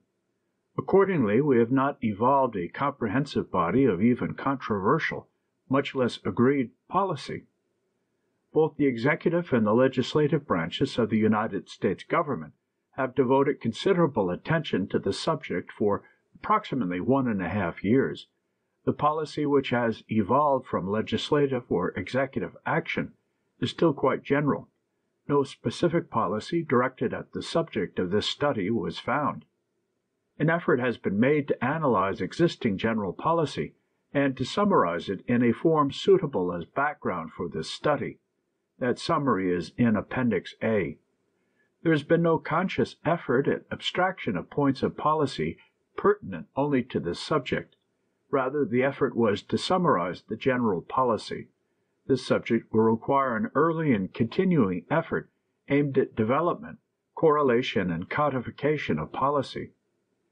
For the present, then, the policy, as the requirements, must be judged against the background of contemporary international political and military situations. The general policy, however, is sufficiently clear in stating the urgency of the situation. The intelligence estimates which support statements of national policy credit the Soviet Union with the capability of accomplishing the objectives of this study any time after 1965. Therefore, we may infer a requirement from national policy. C. Political, psychological, and security implications. 1. Political and psychological. The political and psychological implications of our failure to be first in space are a matter of public record. This failure has reflected adversely on United States military, scientific, and political leadership. To some extent we have recovered the loss. However, once having been second best in the eyes of the world's population, we are not now in a position to afford being second on any other major step in space. We have already stretched our luck in being second with the space probe and sun satellite. However, the political implications of the space activities accomplished to date have not been nearly as serious as those which will result from failure to be first in this operation. The results of failure to first place man on extraterrestrial, naturally occurring, real estate will raise grave political questions and at the same time lower United States prestige and influence in dealing with this and related problems. The Soviet Union has announced openly its intention that some of its citizens will celebrate the 50th anniversary of the present government (1967) on the lunar surface. The United States intelligence community agrees that the Soviet Union may accomplish a manned lunar landing at any time after 1965. Judging from past experience, it is easy to visualize all manner of political and legal implications which the Soviet Union might postulate as a result of such a successful accomplishment. As is so often the case in points of law, the effect is the derivative of the precedent. There are possibly other applications of space which will permit earlier derivation of meaningful military capabilities than will a successful lunar outpost, provided these applications are pursued vigorously. Individually, however, they will not have the same political impact. In the still vague body of fact and thought on the subject, world opinion may be expected to view the other applications similar to actions on the high seas and also to view the establishment of a first lunar outpost similar to proprietary rights derived from first occupancy. As the Congress has noted, we are caught in a stream in which we have no choice but to proceed. Our success depends strongly on the decisiveness with which we exercise our current options. The lunar outpost is the most immediate such case. It is the basis for others more far reaching, such as further interplanetary exploration. More detailed coverage of legal and political implications may be found in Appendix B. They are directly related to policy discussions in Appendix A. 2. National Security. Volume 2 of this study indicates that it has the objective of treating the subject up to and including the establishment and maintenance of a 12 man outpost, of which approximately 50 per cent, six men, would have the continued functions of life support operations. This would include operation and maintenance of equipment with perhaps minor technical improvements in the outpost. While it may be granted that this achievement will have been a major national accomplishment from the political and diplomatic viewpoint, and will provide the know-how for expansion, it will not satisfy all the foreseeable national security requirements. It is therefore merely a point of departure for security considerations. The total extent of the military applications which may evolve after the establishment of the initial outpost is a function of variables which require operational and/or technical evaluation beyond the scope of this study. Some entail National Security Council type evaluation. Examples are: 1. Evaluation of the actual or potential threat to the continued operation of the outpost and policy on countering the threat. This must include a study of interactions with other space activities. 2. Evaluation of the significance of lunar operations within the broader framework of the total national defense. 3. Military evaluation of the operational and technical requirements to implement any National Security Council policies which are specified. 4. Cost of implementing military operational and technical requirements. 5. Utilization of knowledge gained during first phases of outpost operation. 6. Extent to which national policy requires attainment of specific military or scientific capabilities. 7. State of the art improvement in rocket booster engines, particularly in specific impulse, thrust, and weight. End of chapter 4.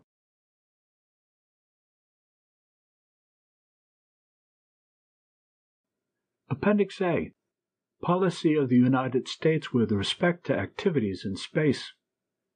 The following policy statements have recently been made by the executive and legislative branches of the government. 1. Statements by the President of the United States. A. In the State of the Union message of 9 January 1959, the President said, To achieve peace we seek to prevent war at any place and in any dimension. If, despite our best efforts, a local dispute should flare into armed hostilities, the next problem would be to keep the conflict from spreading, and so compromising freedom. In support of these objectives, we maintain forces of great power and flexibility. We have successfully placed five satellites in orbit, which have gathered information of scientific importance never before available. Our latest satellite illustrates our steady advance in rocketry and foreshadows new developments in worldwide communications. B. In his budget message of 19 January 1959, dealing with fiscal year 1960, the President said, For the fiscal year 1960, research and development expenditures will be increased still further, with emphasis on space exploration, peaceful uses of atomic energy, and basic science. Extensive space exploration investigations are being initiated, utilizing satellites and probes. Development work is going forward on high energy fuel rockets, a million pound thrust engine, and a nuclear rocket engine. Spaceflight The National Aeronautics and Space Administration, organized in 1958, is initiating extensive scientific investigations with satellites and space probes to increase our understanding of the Earth's gravitational, magnetic, and electric fields, radiation from space, and other phenomena. Programs in the field of meteorology will look toward the ultimate establishment of a worldwide system of satellite weather observation, and in the use of satellites to serve as relays for the intercontinental transmission of messages, voice, and television. Projects to increase our ability to place heavy objects in space include development of high energy fuel rockets, a million pound thrust engine, and a nuclear rocket engine. C. In a message to the Congress dated 2 April 1958, entitled National Aeronautic Space Agency, the President said, Recent developments in long range rockets for military purposes have for the first time provided man with new machinery so powerful that it can put satellites into orbit and eventually provide the means for space exploration. In a statement which I released on March 26, 1958, the Science Advisory Committee has listed four factors which, in its judgment, give urgency and inevitability to advancement in space technology. These factors are 1. The compelling urge of man to explore the unknown. 2. The need to assure that full advantage is taken of the military potential of space. 3. The effect on national prestige of accomplishment in space science and exploration. And 4 the opportunities for scientific observation and experimentation, which will add to our knowledge of the Earth, the solar system, and the universe. These factors have such a direct bearing on the future progress, as well as on the security of our nation, that an imaginative and well conceived space program must be given high priority, and a sound organization provided to carry it out. Such a program and the organization which I recommend should contribute to 1. The expansion of human knowledge of outer space and the use of space technology for scientific inquiry. 3. Sick. The development of vehicles capable of carrying instruments, equipment, and living organisms into space. 4. The preservation of the role of the United States as a leader in aeronautical and space science and technology. 5 the making available of discoveries of military value to agencies directly concerned with national security. I recommend that aeronautical and space science activities sponsored by the United States be conducted under the direction of a civilian agency, except for those projects primarily associated with military requirements. It is contemplated that the Department of Defense will continue to be responsible for space activities peculiar to or primarily associated with military weapons systems, responsibility for other programs is to be assumed by the new agency. In this connection, I commend to the attention of the Congress the comments of my Space Advisory Committee in its statement of March 26, 1958, on the military applications of space technology. 2. Policy declarations by the Congress. A.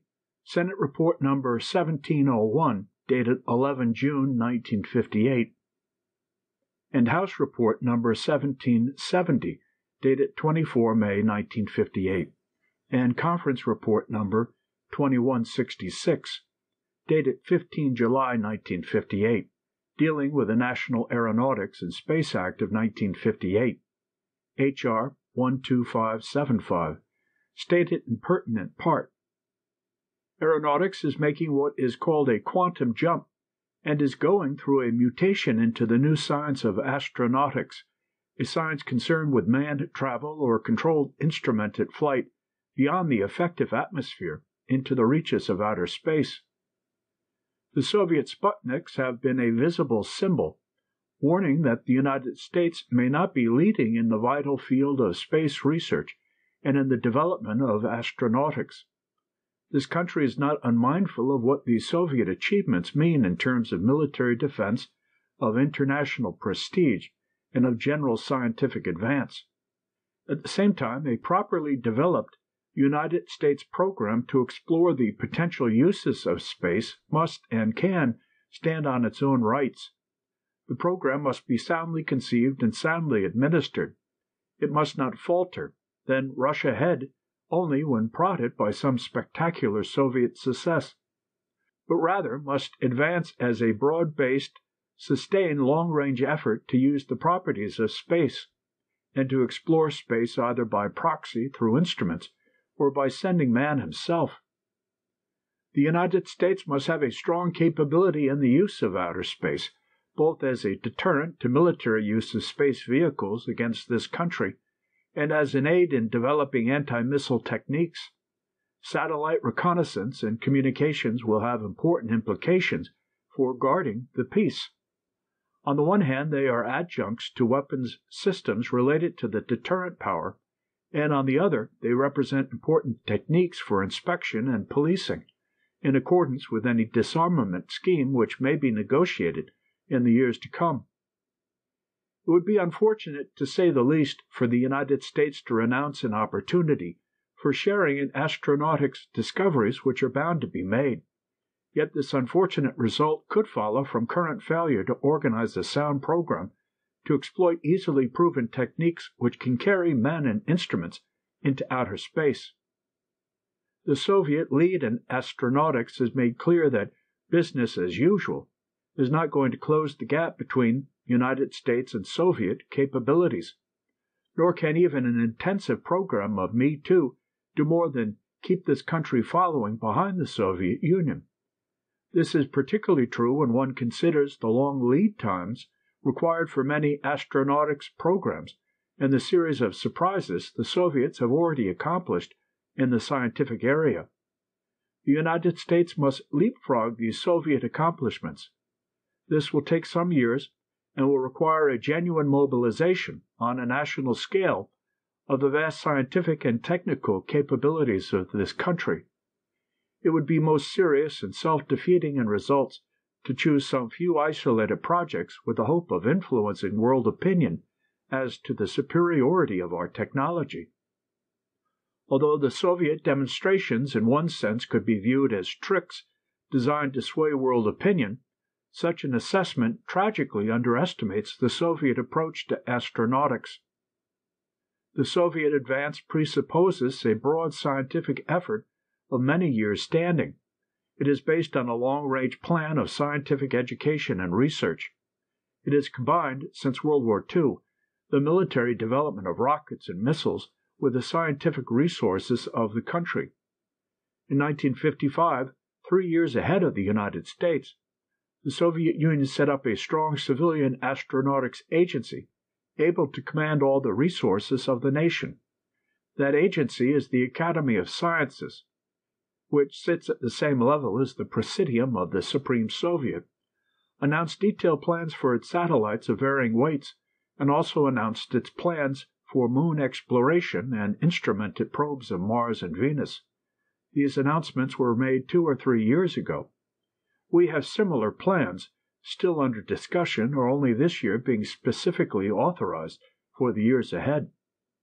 Whatever the United States may think of other aspects of the Soviet political system, there is little doubt that a single coordinated agency offers tremendous advantages over the fragmented, uncoordinated effort which the United States has made to date. A haphazard effort involves the dangers of duplication and incompleteness, together with competition for funds and headlines, to the detriment of rapid attainment of national goals. This is not to say that there is not room for alternative approaches and for the development of different teams and facilities, but all these should be pointed toward the fulfillment of a well rounded, comprehensive national plan. The establishment of a national space program is a matter of the highest urgency both for reasons of immediate national defense and to ensure that in the long run outer space is effectively utilized for peaceful purposes. The decision to enter into the space age is not one the United States can ignore or defer. Our national survival requires it. B. H.R. Number 1758, 85th Congress, Second Session, dated 21 May 1958, stated in relevant part The establishment of a national space program is a matter of the highest urgency, both for reasons of immediate national defense and to ensure that in the long run outer space is effectively utilized for peaceful purposes. The United States is behind the Soviet Union today in its ability to use outer space, and only much hard work and intelligent planning and organization will overcome this lag in the years ahead. The control of our national astronautics program must be in civilian hands and oriented toward the broadest interests of the nation. The head of the National Space Agency, under the President, must be the supreme arbiter of astronautics policy, except as he shares in the deliberations of the National Security Council, where space is but one aspect of national policy.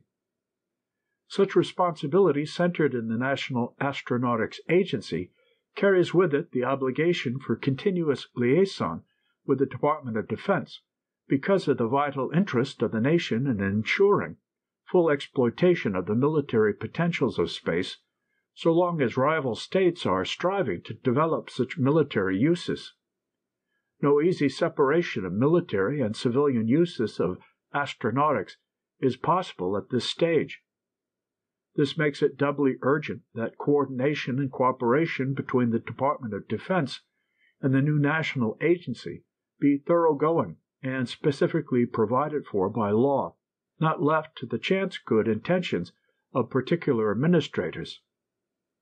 The Department of Defense has its Advanced Research Projects Agency to coordinate but not to centralize detailed operation of the many astronautics programs of the individual services.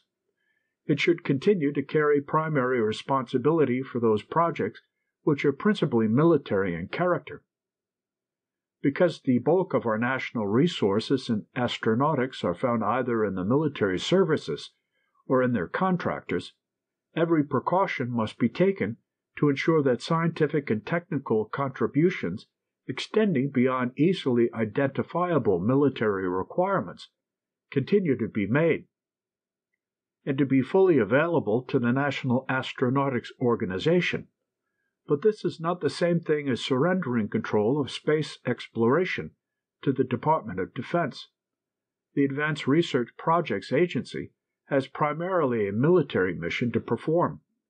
In this, it should not be restricted, but the Department of Defense cannot be the sole arbiter of what is military and what is civilian when particular activities are in dispute. Such disputes must be reconciled at least on the level of the National Security Council with an equal chance to be heard by both the military agency and the national civilian agency. The National Astronautics Agency must be more than just a repository for projects the Advanced Research Projects Agency is not interested in. The studies of the committee made clear that exploration of space is no longer hypothetical and remote. It is underway in a comprehensive fashion by the Soviet Union and is being undertaken in a wide range of projects in this country. Coming rockets of high thrust will enable the placing of large instrumented satellites around the Earth for military reconnaissance, weather prediction, navigation, and communications. Both the United States and Soviet Union will probably have the capability of making lunar probes and probes to Mars and Venus in the immediate and foreseeable future. Man will move into space both for military reasons and for scientific exploration. Advances in instrumentation, however successful, are unlikely to take the place of voyages by man himself to other parts of the solar system. Although space development will be expensive, particularly as the hardware phases are reached, it will pay tremendous dividends. The experience of the past demonstrates that a succession of discoveries and inventions have always had economic advantages far greater than the dreams of their developers. In conclusion, it is clear that the decision to enter into the space age is not one the United States can ignore or defer. Our national survival requires it. If we meet the challenge, we will only then have the option of directing the use of outer space toward peaceful purposes for the benefit of all mankind. C. The National Aeronautics and Space Act of 1958, Public Law 85 568 declare the policy and purposes of Congress in the following message. Section 102 A. The Congress hereby declares that it is the policy of the United States that activities in space should be devoted to peaceful purposes for the benefit of all mankind. B. The Congress declares that the general welfare and security of the United States require that adequate provision be made for aeronautical and space activities. The Congress further declares that such activities shall be the responsibility of and shall be directed by a civilian agency exercising control over aeronautical and space activities sponsored by the United States, except that activities peculiar or to primarily associated with the development necessary to make weapon systems, military operations, or the defense of the United States including the research and development necessary to make effective provision for the defense of the United States, shall be the responsibility of and shall be directed by the Department of Defense, and that determination as to which such agency has responsibility for and direction of any such activity shall be made by the President in conformity with Section 21E. D the report of the Select Committee of the House of Representatives on Aeronautical and Space Exploration, H.R. 2710, 85th Congress, Second Session, dated 3 January 1959, included the following. It cannot be overemphasized that the survival of the free world, indeed all the world, is caught up in the stakes. Outer space is fast becoming the heart and soul of advanced military science it constitutes at once the threat and the defense of man's existence on earth. Only a bold and dynamic program, employing the total talents and the greatest strength of the United States and its friends, is competent to meet a challenge so overwhelming. It would be highly impractical not to face the reality that space technology, like nuclear energy, can be used for war as well as for peace. The United States is dedicated to ensuring that outer space be devoted to peaceful purposes for the service of all mankind. The 85th Congress voted such a resolution, and this has been the stand of our delegates before the United Nations. Scientific knowledge itself is neutral. The men who use it determine its results for good or evil. If others would use it for evil, they cannot be countered by a better intentioned country which lacks such knowledge and power itself. The United States must continue to strive for conditions which will make it possible for all space research to benefit mankind. But this effort is meaningless unless such striving is accomplished by an American and free world effort to develop space devices of the highest order of versatility. Failure to do so would deny the free world not only the peaceful benefits of space, but also the capability to detect hostile moves against these nations, including the violations of agreements, and the further ability to counter such threats. The military potentialities of space technology, which the United States would prefer to see channeled to peaceful purposes, are greater than general public discussion to date suggests. Military space capabilities are technically inseparable from peaceful capabilities which are well worth pursuing in their own right, reconnaissance for merchant ship land patrol, and for peaceful mapping of resources can also be used to locate military targets. Communications to improve global relations can also be used to control military forces. Rockets for cargo and passenger delivery can also carry thermonuclear weapons. Satellites designed to return men from an orbit to a pre-selected point can also deliver bombs. The decision to undertake a space program cannot be made in the context of domestic conditions alone. Whether the United States undertakes such a program or not, the Soviet Union has already launched a massive program with considerable momentum. The Soviet effort has a long record of study and popular and governmental interest behind it. The Soviet program has been vigorously pursued since the time of World War II, and has been assigned a high priority of scientific manpower, material, and coordinated organization. Soviet leaders implicitly believe that they will be the first to explore and to use outer space. They doubt that others will be in a position to follow. End of Appendix A.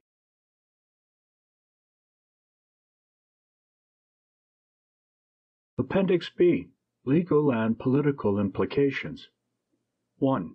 General.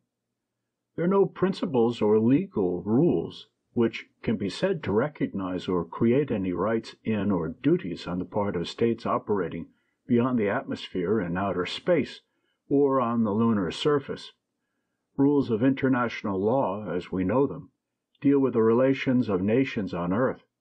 Further, such rules of international conduct as may be said now to exist were not devised or stated with a view to their applicability to what was, up until only half a decade ago, an almost undreamed of area of application outer space. Moreover, the plethora of writing on the subject and the variety of opinions expressed reveal that as of this present, what is regarded as international law in its presuppositions and prerequisites in the field of outer space activity are nothing more than the wishes or pious thoughts or aspirations or fears of the writers. They cannot bind, control, or even limit states and nations in the new dimension. Even on Earth, where it is more or less accepted that international law does exist, each law must be sought as a practical matter in treaties such as the United Nations Charter or the Protocol of the Potsdam Conference, even when more or less clear statements of rights or duties or privileges and immunities of the contracting nations can be read in such treaties, there is not only disagreement as to the meaning of the words thereof, but also difficulty in enforcing, as a matter of law, the rights or duties defined therein. Law is a response to the necessities of time, place, and peoples, and we should not be hasty in seeking to find or read law where none capable of being denominated law exists. There has been a marked tendency on the part of the United States in particular to do just this, and with something less than happy results. We must recognize and resist, particularly in connection with activities in space, the pronounced American tendency to transplant legal concepts from the domestic to the international field, to believe that international society could and should operate on the basis of general contractual obligation, and hence lay stress on verbal undertaking rather than on the concrete manifestations of political interest.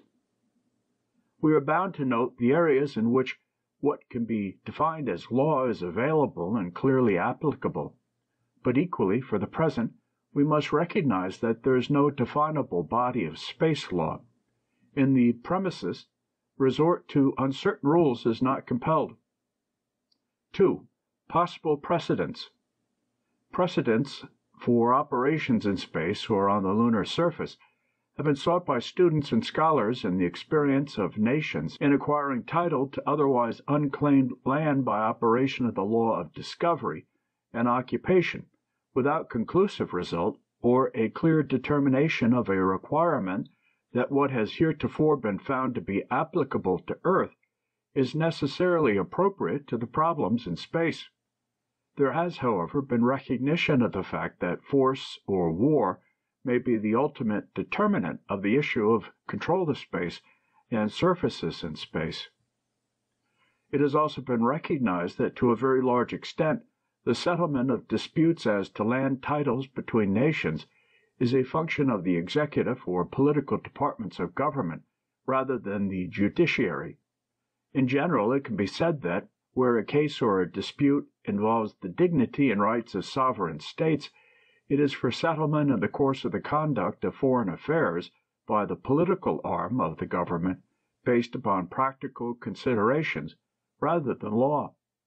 As Chief Justice Stone stated in the case of Ex parte Peru, 318 U.S. 578, our national interest will be better served in such cases if the wrongs to suitors involving our relations with a friendly foreign power are righted through diplomatic negotiations rather than by the compulsions of judicial proceedings. It has also been suggested that precedents for dealing with problems of occupation of and title to lunar surfaces may be found in American experience and policy with respect to claims in the Antarctic. The basic policy of the United States with respect to the making of claims in Antarctica is at all times to reserve to herself whatever rights she may have under recognized principles and rules of international law, in view of the activities and actions of its citizens, but to refuse formally to lay any claims to the area on the basis of such activities, and, further, to refuse to recognize the claims of other nations. This policy is traceable to the action of Secretary of State Charles Evans Hughes, who in 1924 insisted that actual settlement was required for a valid claim to sovereignty over newly discovered territory. In this connection, Secretary Hughes, a justice of the Supreme Court of the United States from 1910 to 1916, and Chief Justice of the United States from 1930 to 1941, and a former governor of New York, who missed the highest office in the land only by the slenderest margin, wrote to the Norwegian minister relative to the effects of activities by Amundsen in polar regions. In your letter you state that in order to avoid any misunderstanding, you would add that possession of all land which Mr. Amundsen may discover will of course be taken in the name of His Majesty, the King of Norway in my opinion, rights similar to those which in earlier centuries were based upon the acts of a discoverer, followed by occupation or settlement consummated at long and uncertain periods thereafter, are not capable of being acquired at the present time. Today, if an explorer is able to ascertain the existence of lands still unknown to civilization, his act of so called discovery, coupled with a formal taking of possession, would have no significance save as he might herald the advent of the settler, and where for climatic or other reasons actual settlement would be impossible, as in the case of the polar regions, such conduct on his part would afford frail support for a reasonable claim of sovereignty. I am therefore compelled to state, without now adverting to other considerations, that this government cannot admit that such taking of possession as a discoverer by Mr. Amundsen of areas explored by him could establish the basis of rights of sovereignty in the polar region, to which it is understood he is about to depart. The United States has consistently followed Secretary Hughes's position, and maintained that although she will reserve our rights granted her by the acts of her citizens through international law, she will assert no claim and will recognize no claims asserted by other nations in the absence of actual occupation. It appears certain that efforts by claiming nations to date have not been sufficient to constitute such occupation, and it would further appear that the United States position is not without wisdom. We have reserved to ourselves the right to make later determinations in our own interest, and have avoided becoming obliged to accept arbitrary agreements or arrangements which may later prove a hindrance while such precedents need not, and indeed would not, be binding in the lunar realm, it may be said that, considering the Antarctic experience of nations, There is neither controlling nor governing law or principle to limit or circumscribe American activity, nor basis for any other nation asserting a bar to American activity in the new dimension.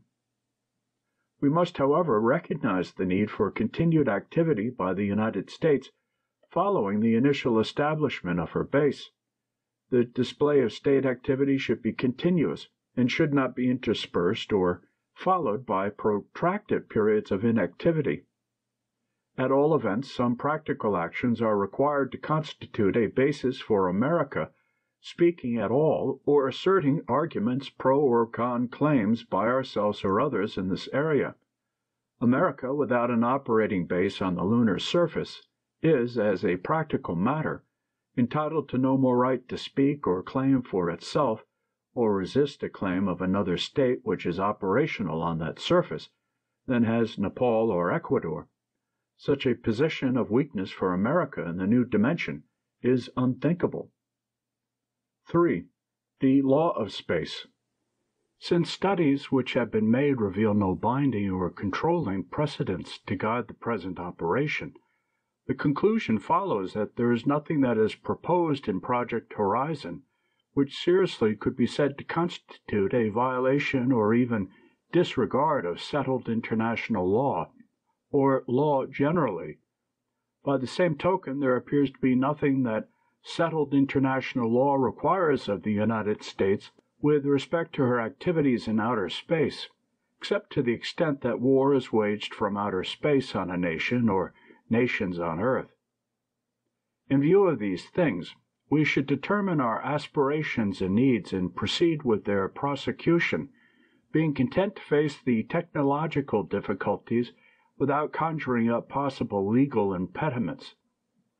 Undoubtedly, as we proceed, new and novel situations will present legal or quasi legal problems, but we should wait on such practical presentation lest in our haste to define rules we compromise our national position in the future to find that a rule, which appears to be viable today, will in the future be something less than what we can live with in view of a new and unpredictable set of facts or circumstances that may then present themselves.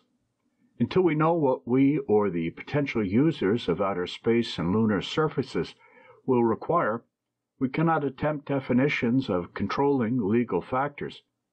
To do so with insufficient facts might induce irreparable adverse effects upon our national interests. Nor in so doing should we have any compunctions lest we be charged with dealing unfairly with other nations. At the present time, and in the ensuing period with which we are here concerned, we can assume that only the Soviet Union and we share the potential to operate in space. The Soviet Union employs law selectively when it is in her interest to do so. Soviet legal doctrine may therefore be expected to develop in response to Soviet technical achievements and Soviet political requirements.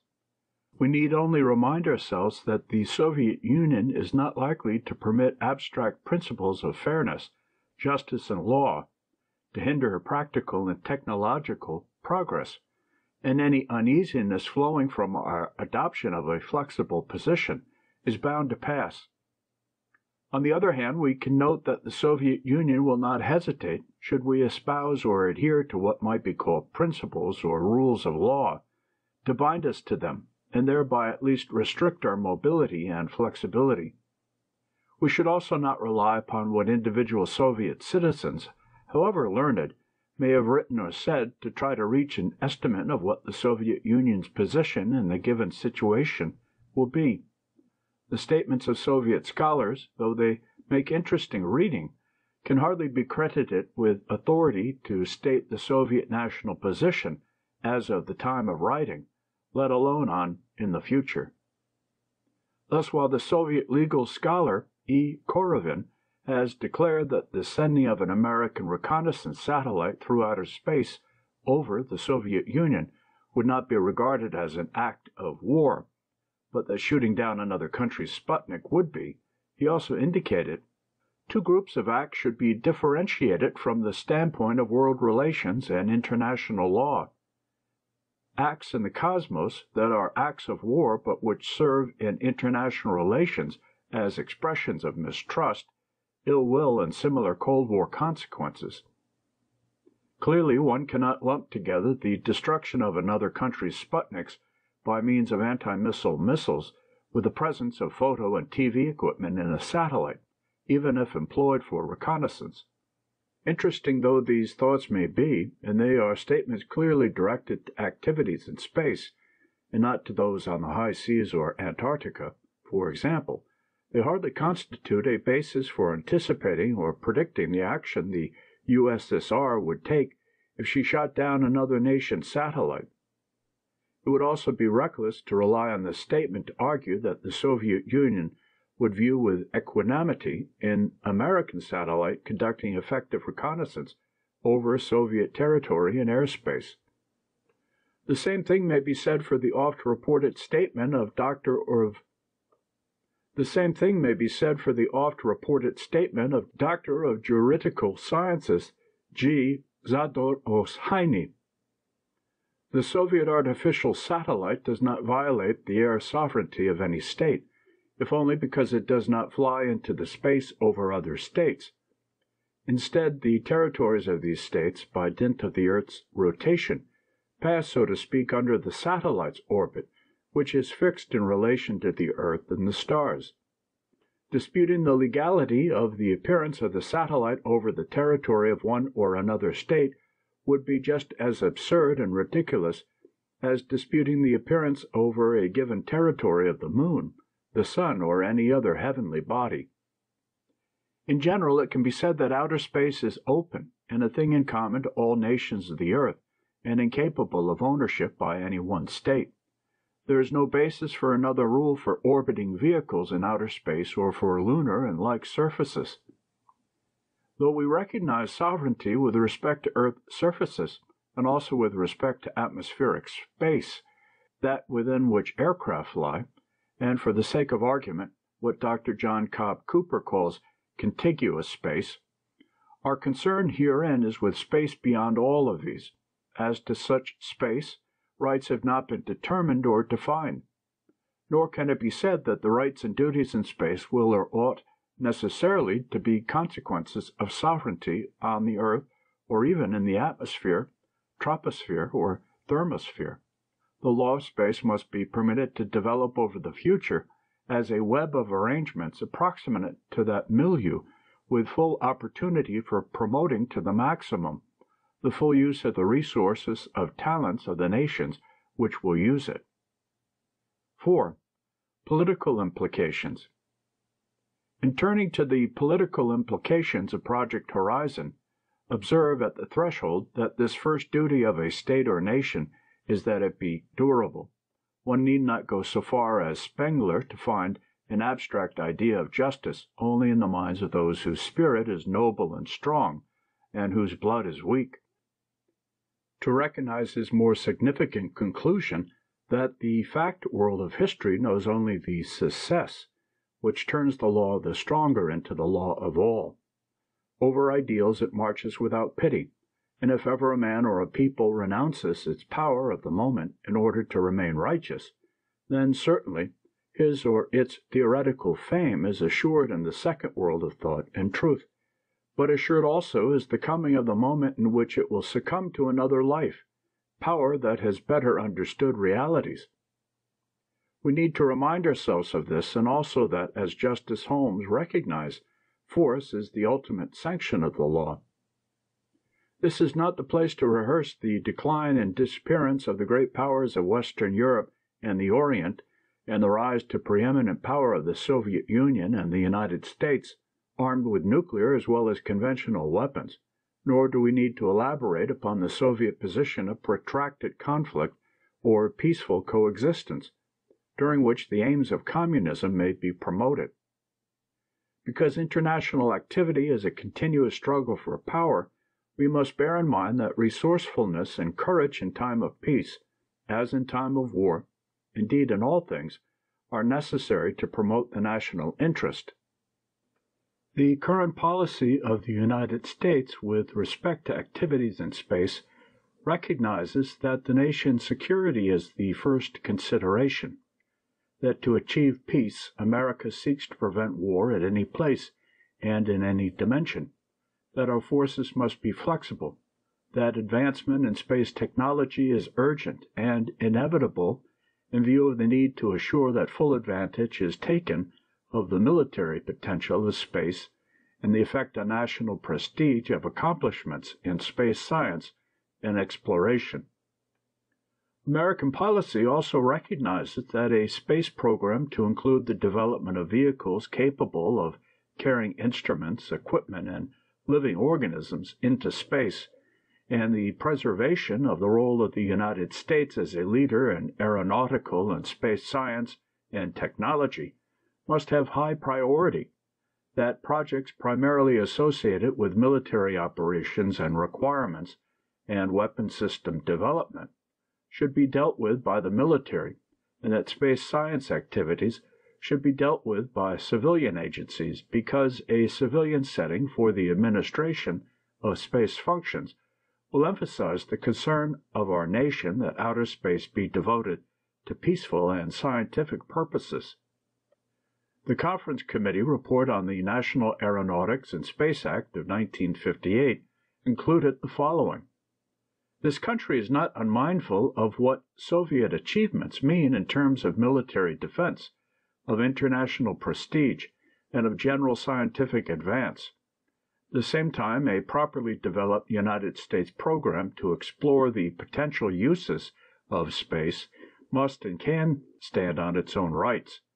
The program must be soundly conceived and soundly administered.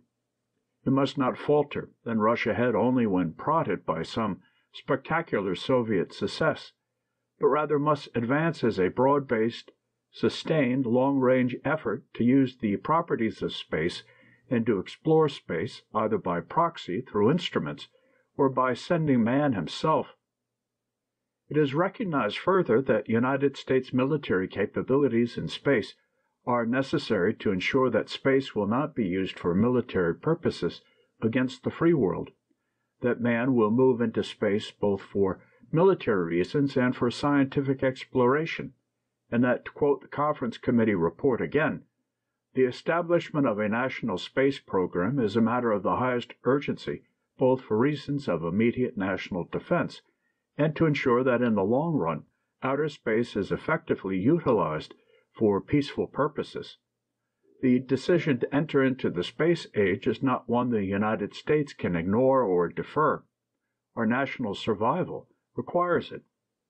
More recently, the report of the House Select Committee on Astronautics and Space Exploration said the military potentialities of space technology, which the United States would prefer to see channeled to peaceful purposes, are greater than general public discussion to date suggests. Military space capabilities are technically inseparable from peaceful capabilities which are well worth pursuing in their own right. Reconnaissance for merchant ship lane patrol and for peaceful mapping of resources can also be used to locate military targets. Communications to improve global relations can also be used to control military forces. Rockets for cargo and passenger delivery can also carry thermonuclear weapons. Satellites designed to return men from an orbit to a pre-selected point can also deliver bombs. It is believed that the foregoing shows that the policy of the United States requires horizon, that indeed the failure vigorously to prosecute such a program is to disregard the plain intention, if not direction, of the executive and legislative branches of the government to take proper measures to ensure our national survival. 5. Specific problems. The following specific problems have been submitted by members of the Committee on the Army Study for establishment of a lunar outpost for legal analysis. Problem 1. What effect would the following Russian claims have on a U.S. program to put man on the moon? (A) The Russians hard land a vehicle on the moon containing the U.S.S.R. flag, document, or monument, and based on that, claim the entire lunar surface for the U.S.S.R. (b) the Russians soft land a vehicle containing the U.S.S.R. flag, monument, radio transmitter, or light, and based on that, claim the entire lunar surface for the U.S.S.R. C. Same as B above, except the vehicle contained men. D. Same as C above, except the U.S.S.R. states that the Russians on the moon have the capability to destroy any aggressor, and will do so. Opinion The hard or soft landing of men or flags or even a ship bearing a flag would have no effect upon territorial claims to the lunar surface as a matter of law.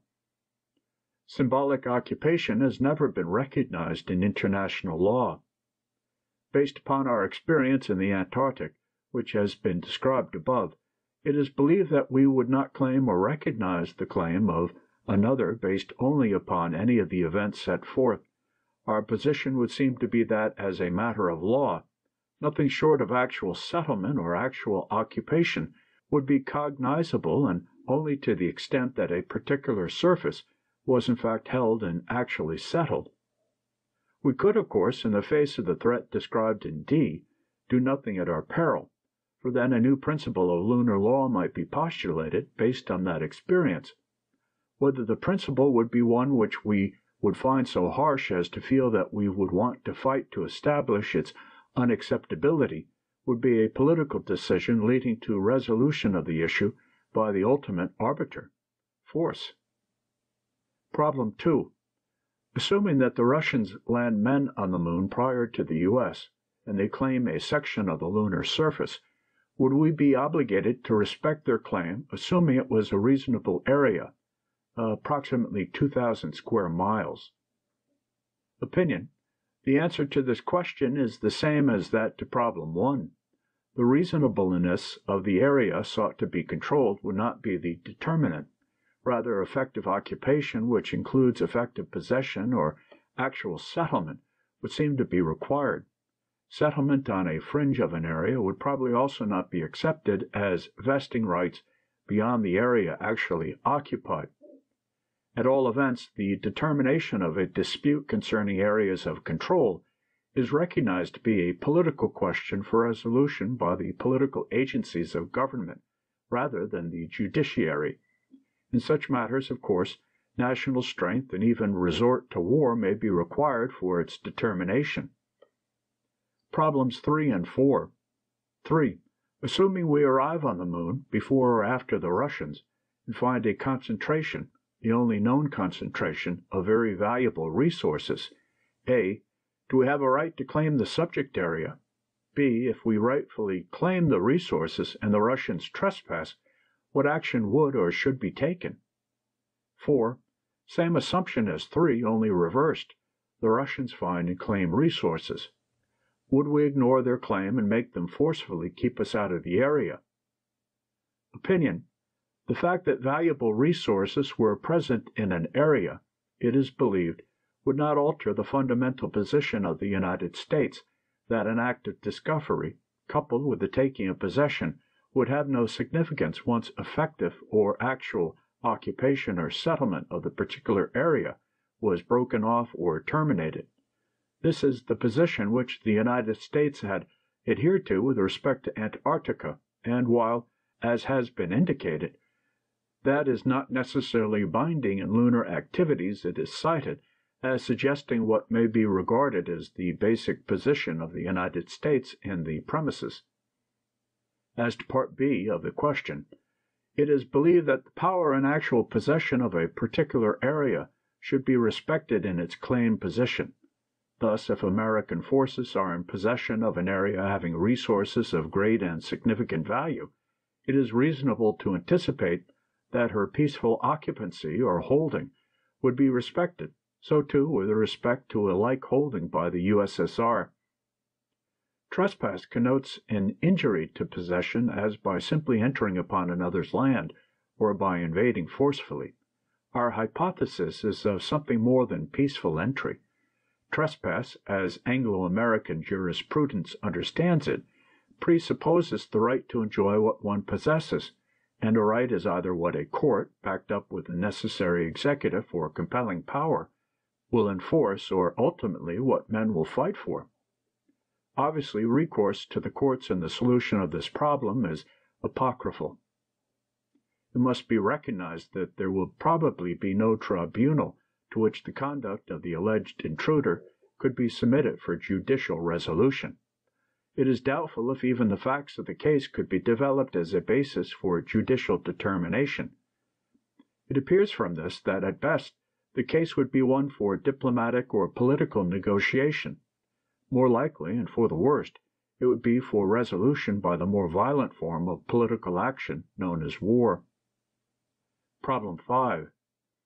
Assuming both the U.S. and the USSR occupy separate locations on the Moon, and do so on a Cold War type basis, (a) If a U.S. manned vehicle accidentally lands in the Russian sector, and they refuse to release the personnel or give any information as to the subject landing, what would we do? (b) Same as (a), except the payload contained equipment rather than men. (c) same as A or B, except the Russians destroyed the vehicle before landing, and we knew that they had destroyed it.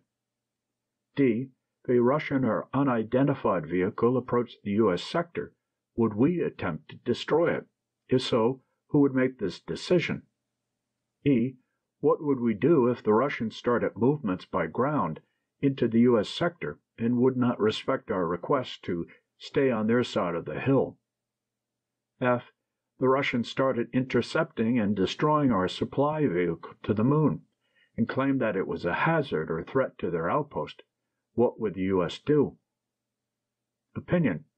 With respect to items 5a through 5e, it may be observed that as a practical matter the capture and refusal to release personnel or equipment of another nation is one ultimately for political action and not for judicial determination even in day to day dealings between nations on earth, and it may be observed that the outcome of such situations in which the U.S.S.R. has been involved is not always predictable. With respect to item 4d, it is a recognized principle of international law that a state at all times owes a duty to other states to protect them against injurious acts by individuals within or under its jurisdiction. It is to be hoped that this doctrine will find acceptance by nations operating in space or on the lunar surface. It may also be considered that entry into airspace of a nation under distress conditions is recognized. This has been defined by this has of Columbia University in the following terms.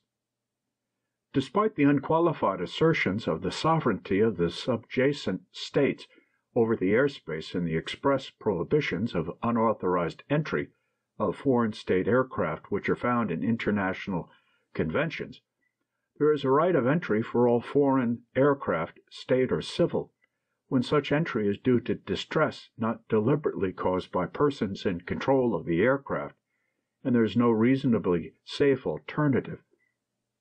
In such cases the entry may be intentional in the sense that the pilot knows he is entering foreign airspace without express permission, but the probable alternatives, such as crash landing or ditching, expose the aircraft and its occupants to such unreasonably great risk that the entry must be regarded as forced by circumstances beyond the pilot's control (force majeure).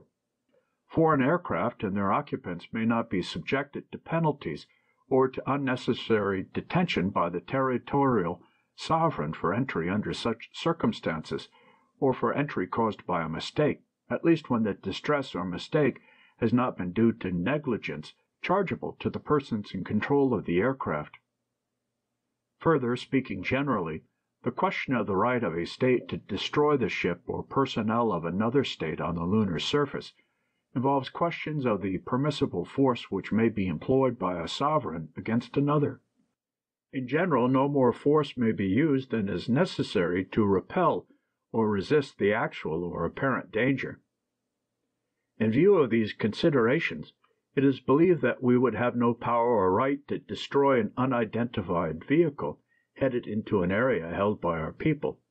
The right to take action against such a vehicle would turn upon establishment of a threat and the fact that the force used was appropriate to and required to deal with a particular threat.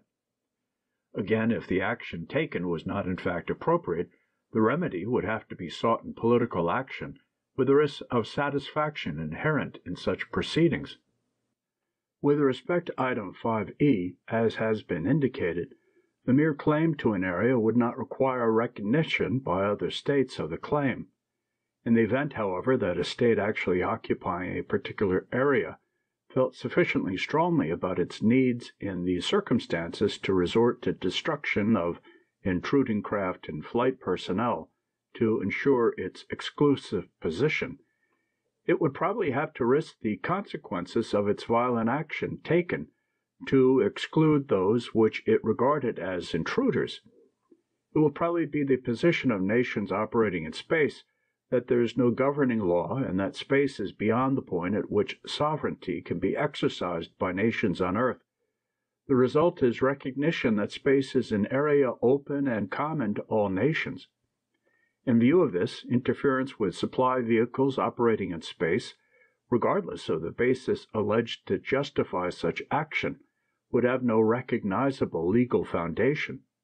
The wrong inflicted, notwithstanding the lack of the right to inflict it, would be a matter for settlement in political or diplomatic channels, or possibly by resorting to violent action, simply because the nations of the world have provided no appropriate courts or tribunals to deal with such matters judicially.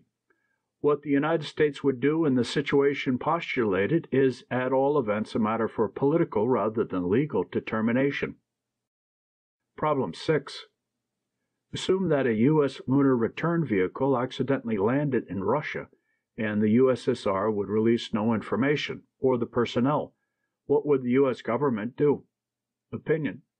This question is closer to reality and is a matter on which principles of international law governing it can be found. The question assumes that the landing was accidental. In such circumstances, the right of innocent passage or transit is recognized. It would seem that principles of international law would require the return of a vehicle which accidentally landed in another state to the state originating the flight. Here again, however, there are no tribunals which can enforce such a holding. Resort would have to be had to political or diplomatic action. And in our dealings with the Soviet Union, it is idle to try to predict the outcome of such proceedings. The review of the practical problems postulated serves further to show the uncertainty of any rights and duties in connection with operation by nations in space or on lunar surfaces. Experience rather than logic must, in the new dimension, as on Earth, be recognized as the life of the law. The practical objectives of America, as has been suggested, must therefore be prosecuted to the fullest possible extent and can be without let or hindrance from principles or rules of general or international law. End of Appendix B.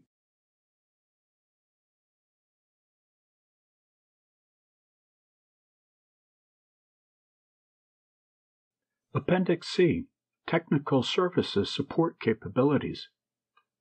The exploration of space and the celestial bodies will require maximum utilization of all national skills and resources which relate to space technology. Prominent among these skills and resources are those of the U.S. Army's seven technical services ordnance, engineers, signal, quartermaster, chemical, transportation, and the medical service.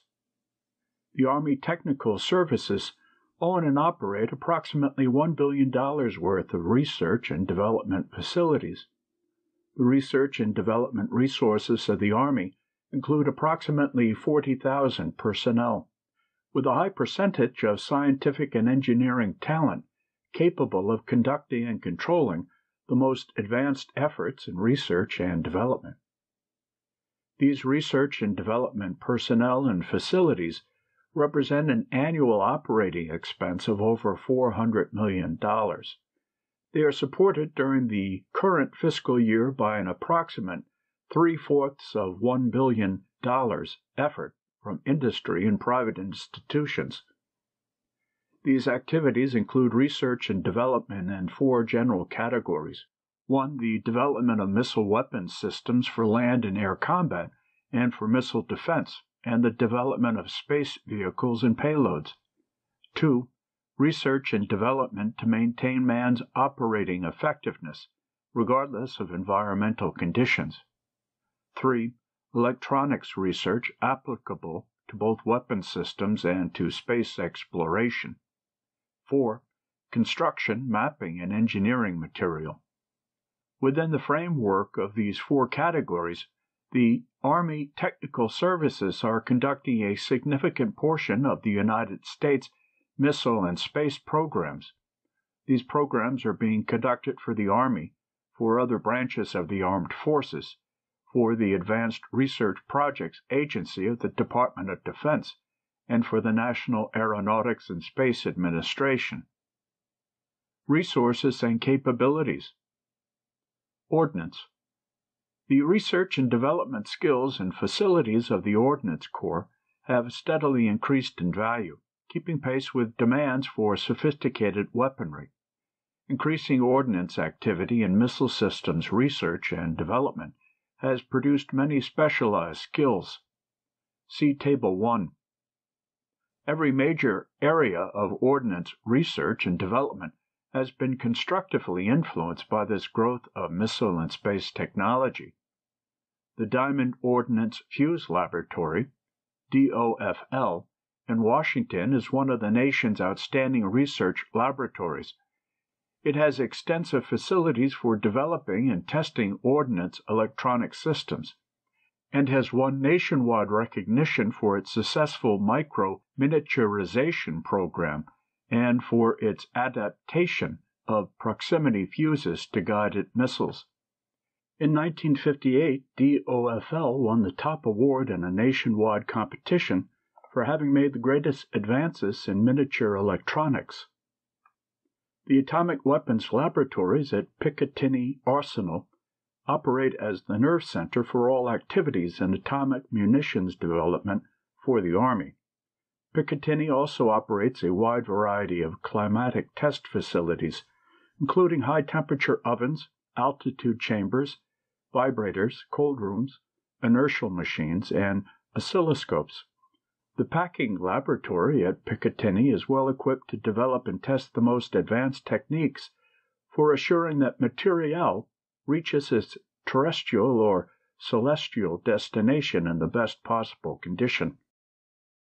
The Ordnance Tank Automotive Command at Detroit has extensive facilities at its disposal for studying terradynamics, the science of land vehicle movement, and for developing and testing both combat and transport vehicles to meet specific requirements. The Ordnance Materials Research Office at Watertown Arsenal studies all types of metals used in weapons and space vehicles a nuclear research reactor for testing materials will be in operation at Watertown by December 1959. The U.S. Army Ordnance Missile Command, AOMC, is assigned responsibility for the full range of rocket and missile management from concept studies to field support of weapon systems and is responsible for broadly diverse programs of basic and applied research which support national military and civilian space programs. To meet the requirements of its customers, AOMC management integrates the research, development, production, and support talents of government, private institutions, and American industry. The AOMC organization is staffed with members of Army Technical Services and the combat arms. AOMC mission elements include the Army Ballistic Missile Agency, the Army Rocket and Guided Missile Agency, and the White Sands Missile Range. The Army Ballistic Missile Agency has responsibility for all ballistic missile activity concerning long range rockets. Personnel of the agency numbers approximately 400 military and 5,000 civilian of whom a high percentage are scientific, technical, or professional personnel. The largest segment of ABMA is the Development Operations Division, under the technical direction of Dr. Wernher von Braun. The Army Rocket and Guided Missile Agency is responsible for development, production, and field support of surface to surface and surface-to-air weapon systems. This agency employs about 3,400 personnel, civilian and military. The White Sands Missile Range is charged with the operation of an integrated missile range for use by all military services. It pursues research and development in electronic applications and provides test and evaluation services for the Army's missile and rocket programs. White Sands personnel total about 17,000, of whom 4,200 civilians and 2,500 military are part of the Army Ordnance Missile Command. Laboratories operated under the command include Missile Firing Laboratory at Cape Canaveral, Aeroballistic Laboratory, Guidance and Control Laboratory, Missile Electronics Laboratory, Propulsion Laboratory, Rocket Vehicle and Warheads Laboratory, and many others. AOMC has the established managerial and technical resources and capabilities to assist in developing, producing, and launching from Earth and orbit the space vehicles required to accomplish Project Horizon. Engineers The Corps of Engineers is well equipped to assist the National Space Program. It is presently assigned the national mission of directing an engineering, construction, and real estate service for the Army, in addition to developing, providing, and servicing engineer material. In keeping with this national mission, the Corps of Engineers has an important current role in supporting the National Guided Missile and Space Program. The U.S. Army Engineer Research and Development Laboratories are the principal field agency of the Corps of Engineers devoted to the development of improved methods and equipment. The laboratories are situated on a 240 acre tract of land bordering the Potomac River at the Engineer Center and Fort Belvoir. The laboratories employ approximately 1,300 civilian engineers, scientists, and technicians. In addition, enlisted men, including many in the scientific professional category, are used at operational levels. These technical people represent numerous fields, including chemical, civil, mechanical, electrical, and sanitary engineering, and chemistry, biology, physics, and mathematics. The Waterways Experiment Station is the principal facility of the Corps for research and engineering investigations in the scientific fields of hydraulics, concrete, soil mechanics, ground mobility, and flexible pavement design. It assists in the accomplishment of both the civil works and military missions of the Corps of Engineers. In addition to its own program, WES has technical supervision over all other hydraulic model investigations performed for the Corps, and over such soils and concrete investigations as may be directed by the Chief of Engineers. The Army has been designated the cognizant agency for the Department of Defense for the development of nuclear power plants to produce heat and electricity. The Army responsibilities have been further assigned to the Chief of Engineers who conducts a joint program with the Atomic Energy Commission. The Army Nuclear Power Program develops the nuclear power plants required by the military services using both AEC and military funds. Funding for field plants is provided by the using service. The Army Nuclear Power Program has access to two major field facilities for the implementation of its assigned objectives. The Nuclear Power Field Office (NPFO) is located at Fort Belvoir. The Army Reactors Experimental Area is at Arco, Idaho. Several field nuclear plants are under construction. The Snow, Ice, and Permafrost Research Establishment conducts basic and applied research in the fields of snow, ice, and frozen ground. The SIPRE carries out its basic mission through five main branches devoted to scientific research and four other branches which provide services and support to the main branches. Its installations are located in Illinois, Michigan, Alaska, Greenland, the Arctic, the Antarctic, and Canada. Its specialties, totaling some 102, include crystal physicists, crystallographers, cryophysicists, geologists, glaciologists, glacial geologists, soils engineers, structural engineers, meteorologists, physical chemists, engineering geologists, mathematicians, instrumentation physicists, and geophysicists. The Arctic Construction and Frost Effects Laboratory has the assigned mission of carrying out investigations to develop and improve engineering criteria for military construction in areas of both seasonal freezing and permafrost. The ACFEL is located at Waltham, Massachusetts, under the direction of the Corps of Engineers New England Division. The total number of employees at ACFEL is 45, of which 15 are in the professional categories of soil mechanics engineers, civil engineers, general engineers, geologists, and engineering aides and draftsmen. ACFEL maintains three field test sites Frost Test Area at Limestone, Maine, Permafrost Research Area at Fairbanks, Alaska, for permafrost investigations, and Greenland Investigational Area for cold climate testing. The Rigid Pavement Laboratory is responsible for the development and continued improvement of design, evaluation, and construction criteria for rigid, rigid overlay, non-rigid, flexible overlay, reinforced and pre-stressed airfield pavements. In addition, the laboratory supports the U.S. Army Ordnance Missile Command and other agencies in the field of blast deflection and refractory materials for blast-resistant applications. The division laboratories have a total complement of 95 people, including civil, mechanical, materials, and electronic engineers, geologists, mathematicians, and chemists, many of whom are used in the rigid pavement laboratory program.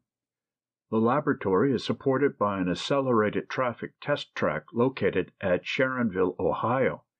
Thermal effects studies are made to study the effects of exhaust gas velocities up to Mach 4.5 and temperatures up to 2800 degrees Fahrenheit.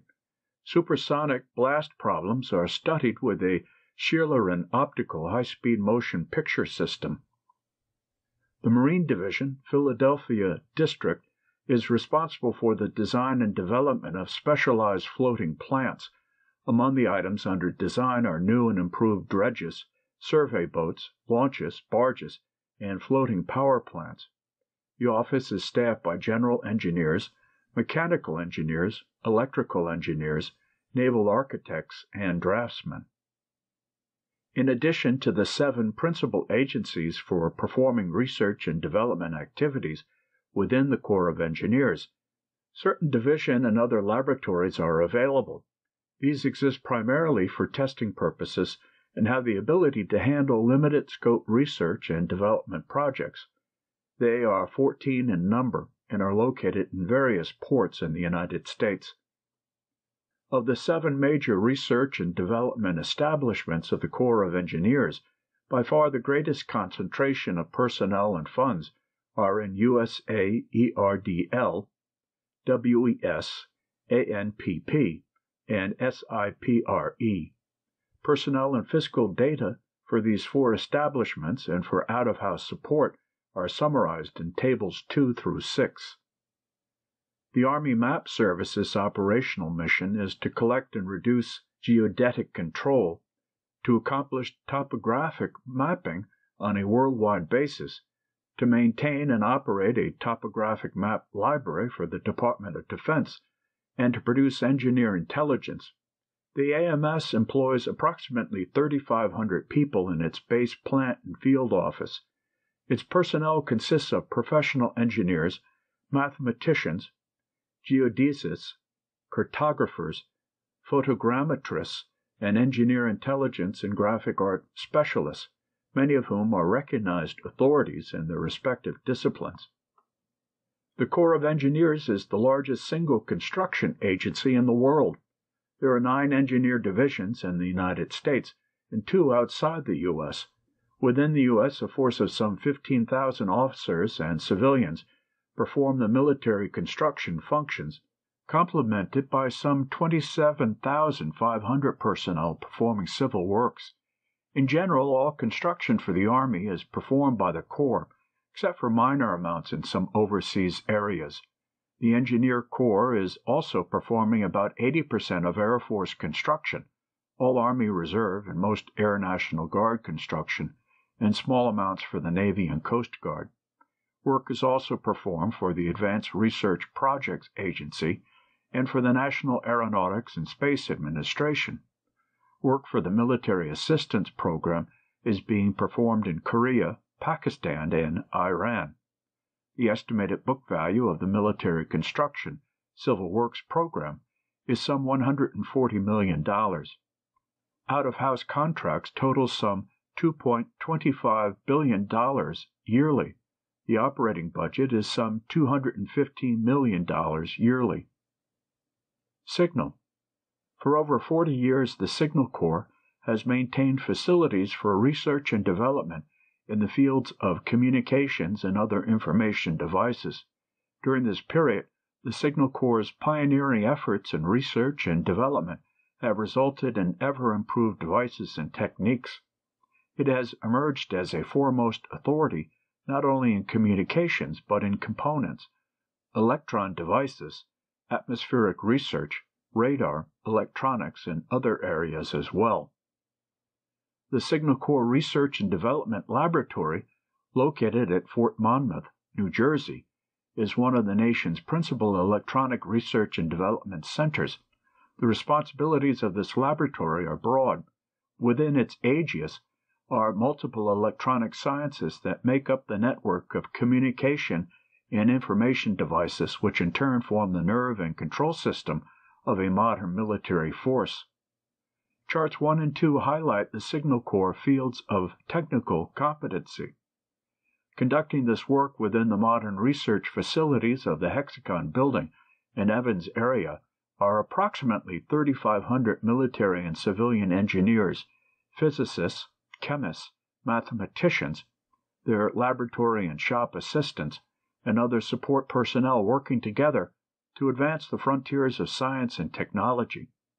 Of these personnel, 698 hold bachelor's degrees, 109 have master's degrees, 453 have doctor's degrees, while 135 have partial credits leading towards a degree. These scientists are working in the more than 30 fields within the province of Signal Corps responsibility and have at their disposal complete laboratory equipment. These include not only up to date commercial devices, but extensions of these advances to meet specialized needs. Also available are well stocked technical libraries and modern machine shop facilities capable of fabricating complex electronic equipment. Supporting the efforts of the U.S. Army Signal Research and Development Lab are thousands of additional scientific and professional personnel available through the more than 650 research and development contracts with the nation's leading industries, universities, research foundations, and other government agencies. Charts 3 and 4 indicate the contractual activities of the various technical groups within the laboratory. Unique among the U.S. Army Signal Research and Development Lab contractors is the Electronic Defense Laboratory of Sylvania Electric Products, Incorporated, a facility working exclusively on projects submitted through the U.S. Army Signal Corps. Established in 1952 by the U.S. Army Signal Corps to conduct research and development in the special field of electronic countermeasures against surface target guided missiles and to produce special electronic equipment on a quick reaction capability basis. This facility has grown into an organization of approximately 660 people, including 240 scientists and engineers, occupying two buildings constructed by Sylvania at a cost of $2.5 million, with approximately 89,000 feet of floor space. The Electronic Defense Laboratory facilities provided by the Signal Corps and valued at approximately $2.5 million includes anechoic chambers, antenna range, high power tube test equipment, component test equipment, hydraulics test equipment, electronic test equipments and standards, GEDA analog computers, environmental test apparatus, and fabrication and model shops. Over the past seven years, the combined R&D and quick reaction capability work has built up at Electronic Defense Laboratory a wide range of capabilities which has resulted in outstanding contributions in miniaturization, signal processing, versatile receiving, transmitting and antenna equipment, systems engineering, and propagation research. The Signal Corps consists of some 1,916 officers, 11,442 enlisted men, and 23,786 civilian personnel. The Signal Corps' current annual budget is $700 million. These figures represent funds and personnel directly under the control of the Chief Signal Officer. An additional 5,000 theater personnel perform work in Army Worldwide Communications Net, and the Signal Corps makes procurement with other funds.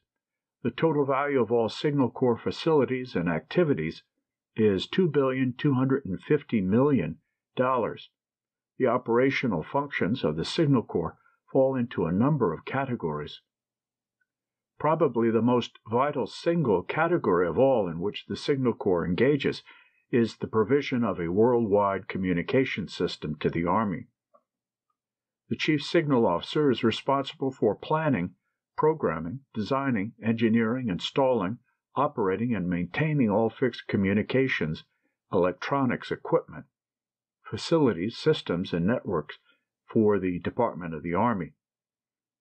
These fixed communications are provided from Headquarters, Department of the Army, down to the Field Army level. Included are special networks for intelligence and air defense. Facilities include wire, voice and teletype, radio, and television. The annual expenditure for operation, modernization, and improvement of the system totals approximately $165 million. One of the largest areas of Signal Corps operations is signal logistics support to the Army. A total of more than 13,000 Signal Corps personnel are engaged in this function.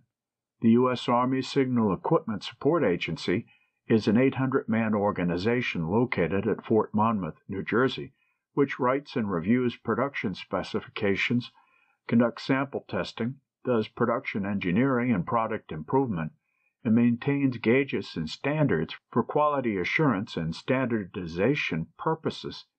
The U.S. Army Signal Supply Agency is a 4,400 man organization located at Philadelphia, Pennsylvania, which makes all Signal Corps procurements and exercises all of its stock control and record functions. Because of the continuing rapid advancement in the electronic art, a decrease in the time lag between development of new technical capabilities and their evaluation and application to military purposes is vitally necessary. The Signal Corps has established the U.S. Army Electronics Proving Ground, USA EPG, a 4,700 man organization located at Fort Huachuca, Arizona.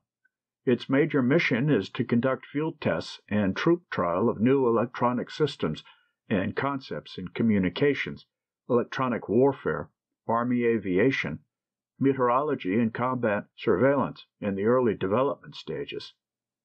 The Signal Corps operates the White Sands Signal Missile Support Agency, a 2,200 man organization at the White Sands Missile Range.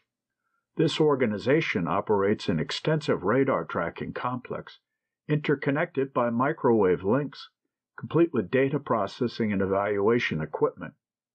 This system is used for determination of the exact trajectory of missiles fired on the range, for range safety and control, and acquisition data for other instrumentation at the range. The organization is responsible for the radar and communications complex, all frequency coordination, allocation and monitoring on the range, and is responsible for measuring data on various atmospheric parameters. In fulfilling its pictorial mission, the Signal Corps operates the U.S. Army Pictorial Center, a thousand man organization in Astoria, Long Island, New York. This organization produces the bulk of all training films used by the Army, aggregating some 400 per year.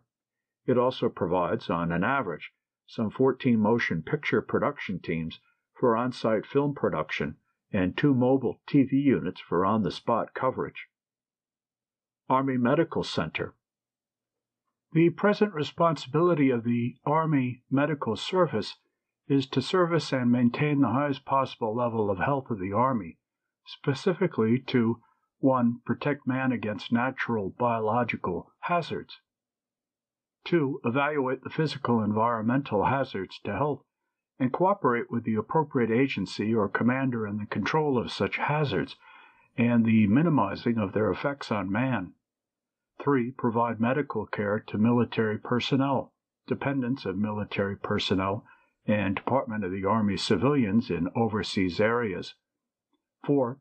Determine the physical and emotional standards for selection, retention, and elimination of military personnel and the conduct of examinations necessary to the application of such standards.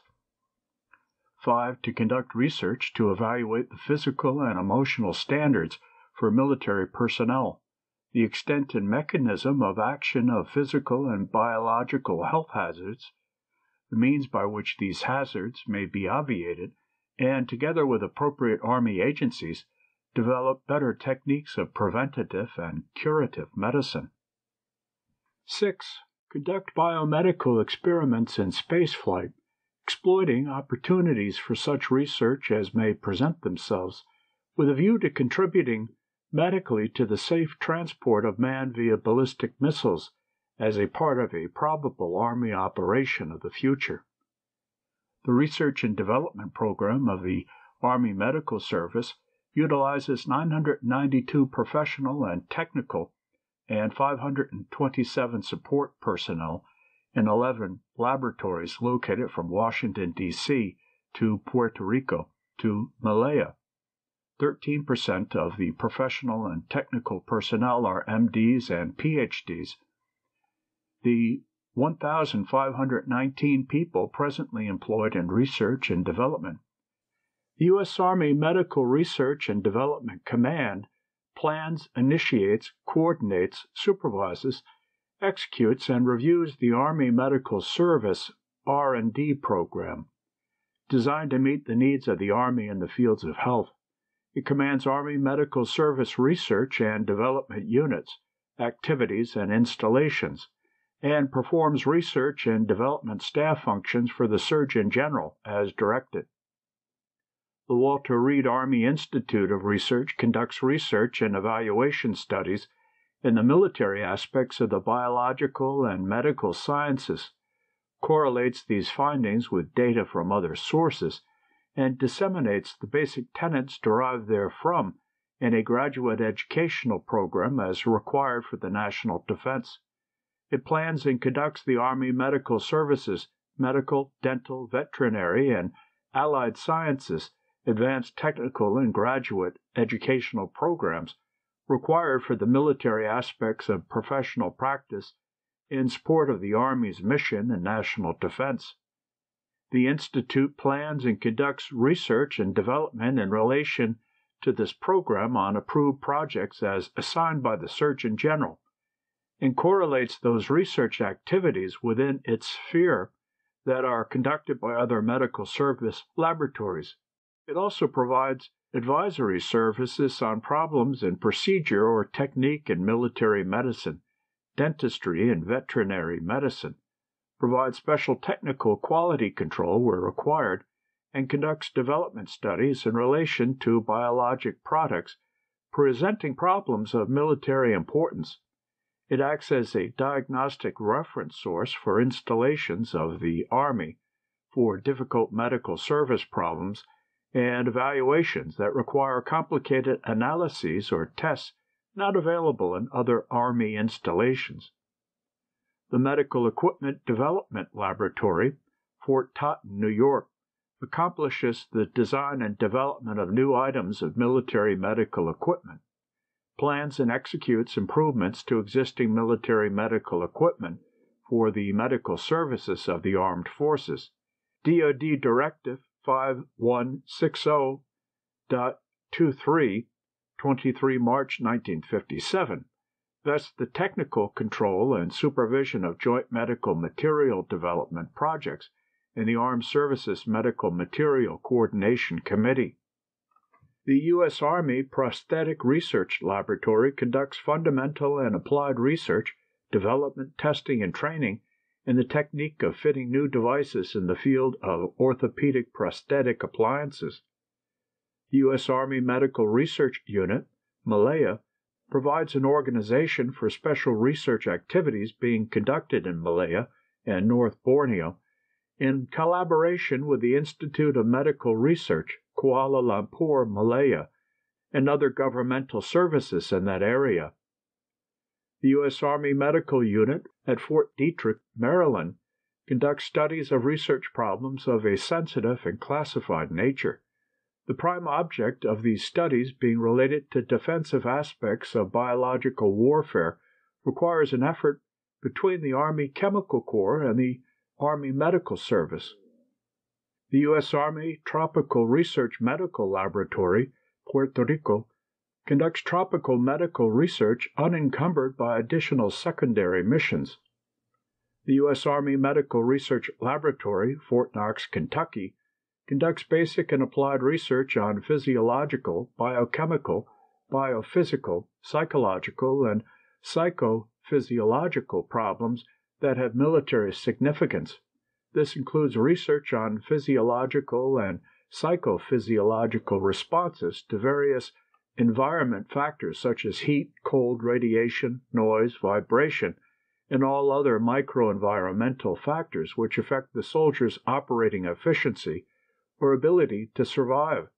The biological and medical aspects of ionizing radiation research directed toward improvement of X-ray and photographic techniques used by the Army Medical Service, field research and studies on human engineering problems arising from expanded global military operations. U.S. Army Surgical Research Unit, Brooke Army Medical Center, Fort Sam Houston, Texas, investigates problems of mechanical and thermal injury and the complications arising from such trauma cares for patients with such injuries, and provides clinical research material for adequate studies, teaches and trains other personnel in the management of injured patients, conducts investigative studies at both the basic and clinical levels. The U.S. Army Medical Research and Nutrition Laboratory, Fitzsimons Army Hospital, Denver, Colorado, conducts basic research on nutrition and metabolism assesses the health as related to nutritional status of troops in all environments, recommends nutritional measures designed to ensure that the personnel are as healthy and fit as is compatible with local danger, disease, and environment, devises and recommends nutritional means to prevent disease and damage to troops under all conditions, and observes and makes recommendations on the nutrition and nutritional status of civilian populations under military control. The laboratory also conducts research on medical and surgical problems of special interest to the Army. The U.S. Army Medical Research Unit, Panama, in conjunction with other United States governmental agencies, conducts research on medical and environmental problems of military importance in the Middle Americas. The U.S. Army Medical Research Unit, Number 1, Landstuhl, Germany, conducts research on military medical problems of importance to the maintenance of the effectiveness of Army personnel. Initial studies will be concerned with radioactivity in man. The research and development budget for fiscal year 1959 was $12.5 million, and for fiscal year 1960 is $13.3 million. The total dollar value of the medical research and development facilities is some $225 million. The yearly operating budget is some $6.3 million. Out of house contracts for fiscal year 1959 totaled $6.2 million and involved the services of some 1,550 professional scientists and 716 support personnel.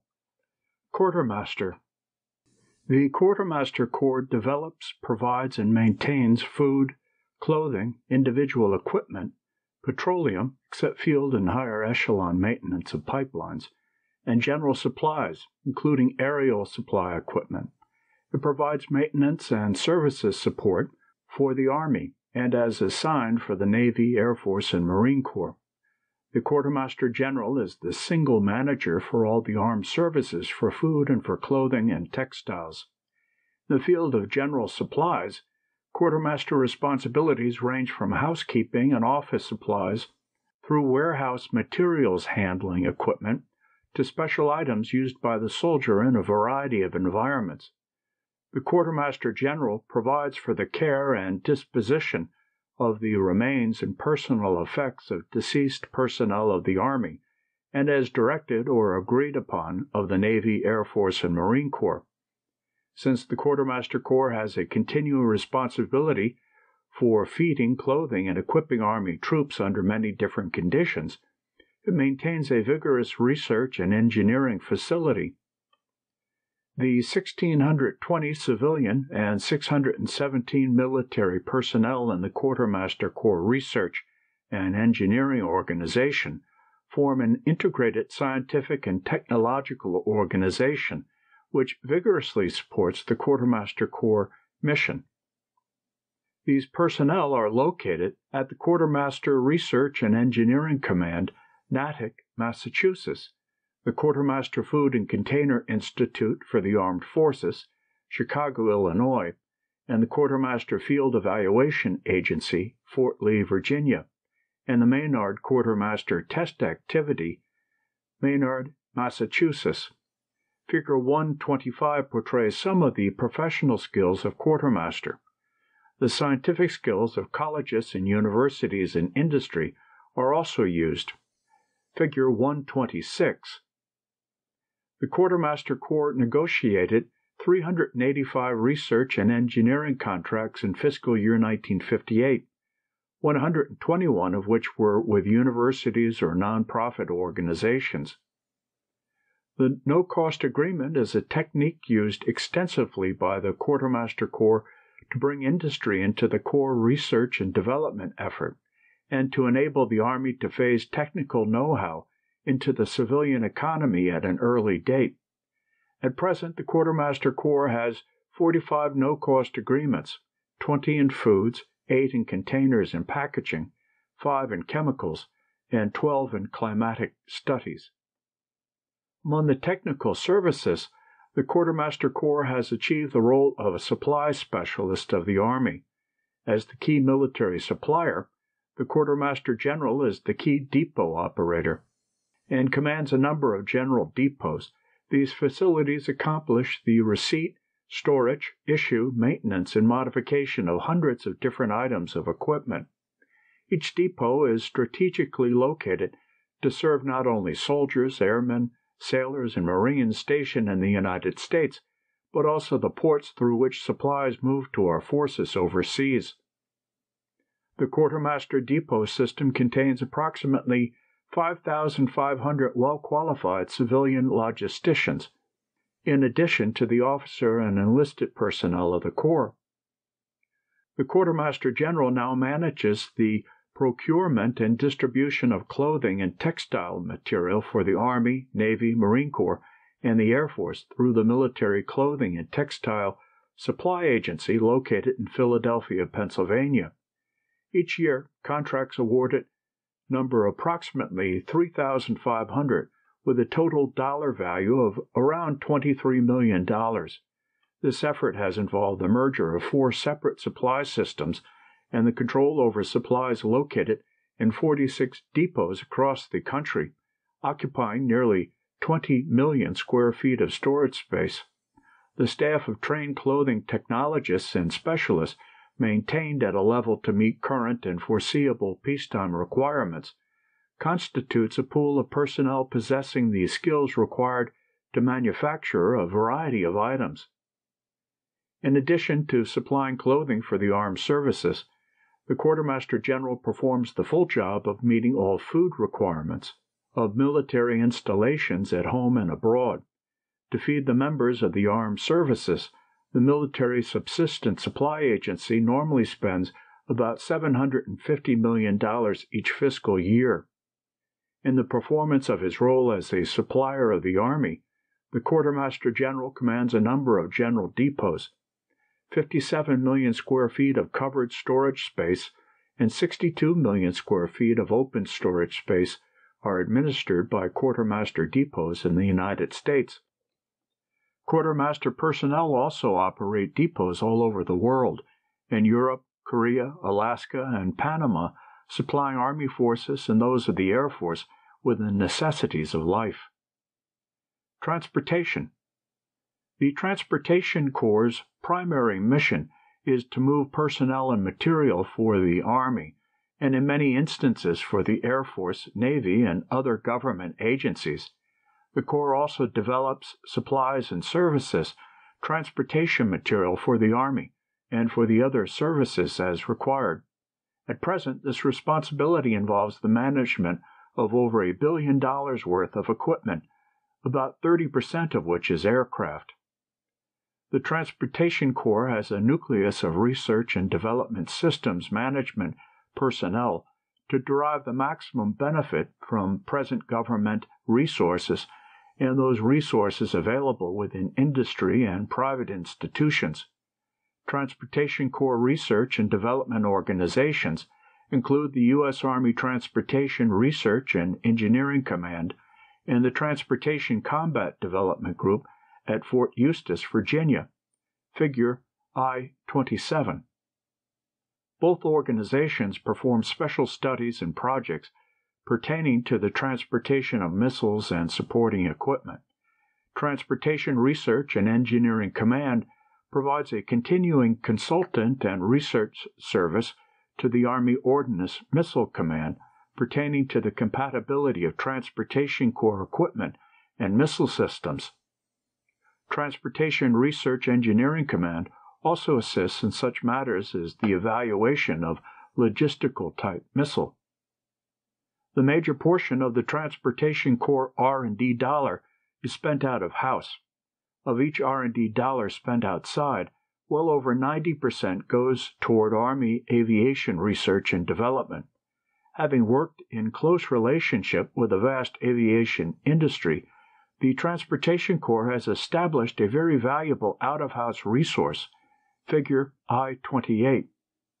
Universities, colleges, and nonprofit research organizations have been utilized in areas of basic and applied research. These resources are utilized to develop the principles from which stem the decisions for design and development of prototypes. Industrial resources utilized by a Transportation Corps include the wide range of research and engineering know how associated with all modes of transportation, from naval architects to aeronautical engineers. Industrial resources have been used primarily for design and development of prototypes. In addition, the Transportation Corps retains the services of professional consultants on a continuing basis, both management and engineering consultants who participate regularly in research and development program planning and execution.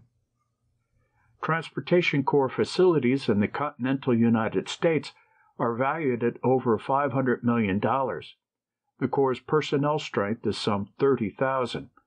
Its operational budget, exclusive of research and development activities, is some $283 million. Chemical The Chemical Corps is presently engaged in research and development work on the following programs which relate to national space programs: 1. Alpha, beta, gamma, and neutron dose and spectrum measurements (probes and base site). 2. Evaluation of thermal radiation (probe). 3. Determination of radiation shielding requirements. 4. Nuclear weapons effect data. 5. Chemical oxygen production and atmosphere regeneration. 6 toxicity studies of chemicals including propellants. 7. Personnel and equipment shelter and lock systems. 8. Non electronic signaling devices. 9. Wound ballistic studies on low pressure injury, high velocity missile effects, quasi blast effects, and synergistic injury effects. 10. Decontamination of man and material from chemical, biological, radiological contamination. 11. Protection of man from biological, chemical, radiological hazards. The U.S. Army Chemical Corps Research and Development Command Staff provides the direction for each of the agent munitions systems, as well as defensive material development. The engineering talent is furnished by the Central Engineering Group known as the U.S. Army Chemical Corps Engineering Command. U.S. Army Chemical Corps Engineering Command conducts the necessary operations to develop and produce items for delivery. Chemical research and development work in the chemical category, amounting to $17.4 million in fiscal year 1959, is being conducted at two locations Army Chemical Center, Maryland, and Dugway Proving Grounds, Utah. There are two organizations at Army Chemical Center the U.S. Army Chemical Warfare Laboratories and the U.S. Army Chemical Corps Engineering Command. Approximately 2,250 people are employed in the chemical work. The Chemical Warfare Laboratory comprises 860,000 square feet of laboratory space, supported by administrative and service facilities of the Army Chemical Center. Facilities used by the chemical warfare laboratories represent a capital investment of $74 million. These facilities are located on an area of 2,750 acres, including test areas. Some of the special facilities and equipment are Chemical Process Laboratory, Wound Ballistic Facility, Dynamic Aerosol Exposure Chamber, vapor phase chromatograph analyzer, infrared spectrometer, nuclear magnetic resonance spectrometer, ultraviolet spectrometer, ultra high speed photographic equipment, gassing chambers, and high vacuum evaporating unit. The Chemical Corps Engineering Command operates as a central engineering agency for the Chemical Corps and supports the research and development as well as the production organizations of the Corps. They do engineering work on plants and processes, products engineering, maintenance engineering, specifications and drawings, basic engineering studies, and furnish consulting service for design criteria for necessary chemical Corps construction. This organization comprises 340 civilians, 60 enlisted specialists, professional personnel, and 24 officers. Biological research and development work in the biological category amounting to $18.9 million in fiscal year 1959 is conducted in two locations at Fort Detrick, Maryland, and Dugway Proving Ground, Utah. At Fort Detrick, over 1,600,000 square feet of laboratory space is supported by 1,140,000 square feet of administrative and service facilities and at Dugway Proving Ground there is an additional 37,000 square feet of laboratory space. Over 90% of the laboratory facilities are designated hot, and the personnel who work in these environments are protected from infectious microorganisms by an extensive system of safeguards. Approximately 2,400 people are employed in the biological work. The fixed capital investment for laboratories and support facilities represents $93 million. The average increase in facilities has been $5 million annually over the past six years. These include plants for large scale production of microorganisms, greenhouse for investigation of crop pathogens and chemicals affecting crop growth, a 1 million volt X ray instrument, huge animal holding and breeding rooms which can hold thousands of guinea pigs at one time, also test chambers, Horton Test Sphere, and pilot plants, including one remote controlled biological warfare pilot plant. Radiological.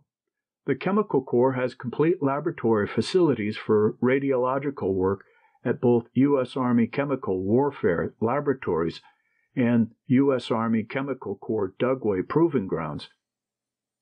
These laboratories are equipped with sources, hot laboratory, hot cells, and filtered exhausts. At Dugway, there is a complete multi-mega Curie capacity hot cell, waste holding facilities, and filtered exhausts.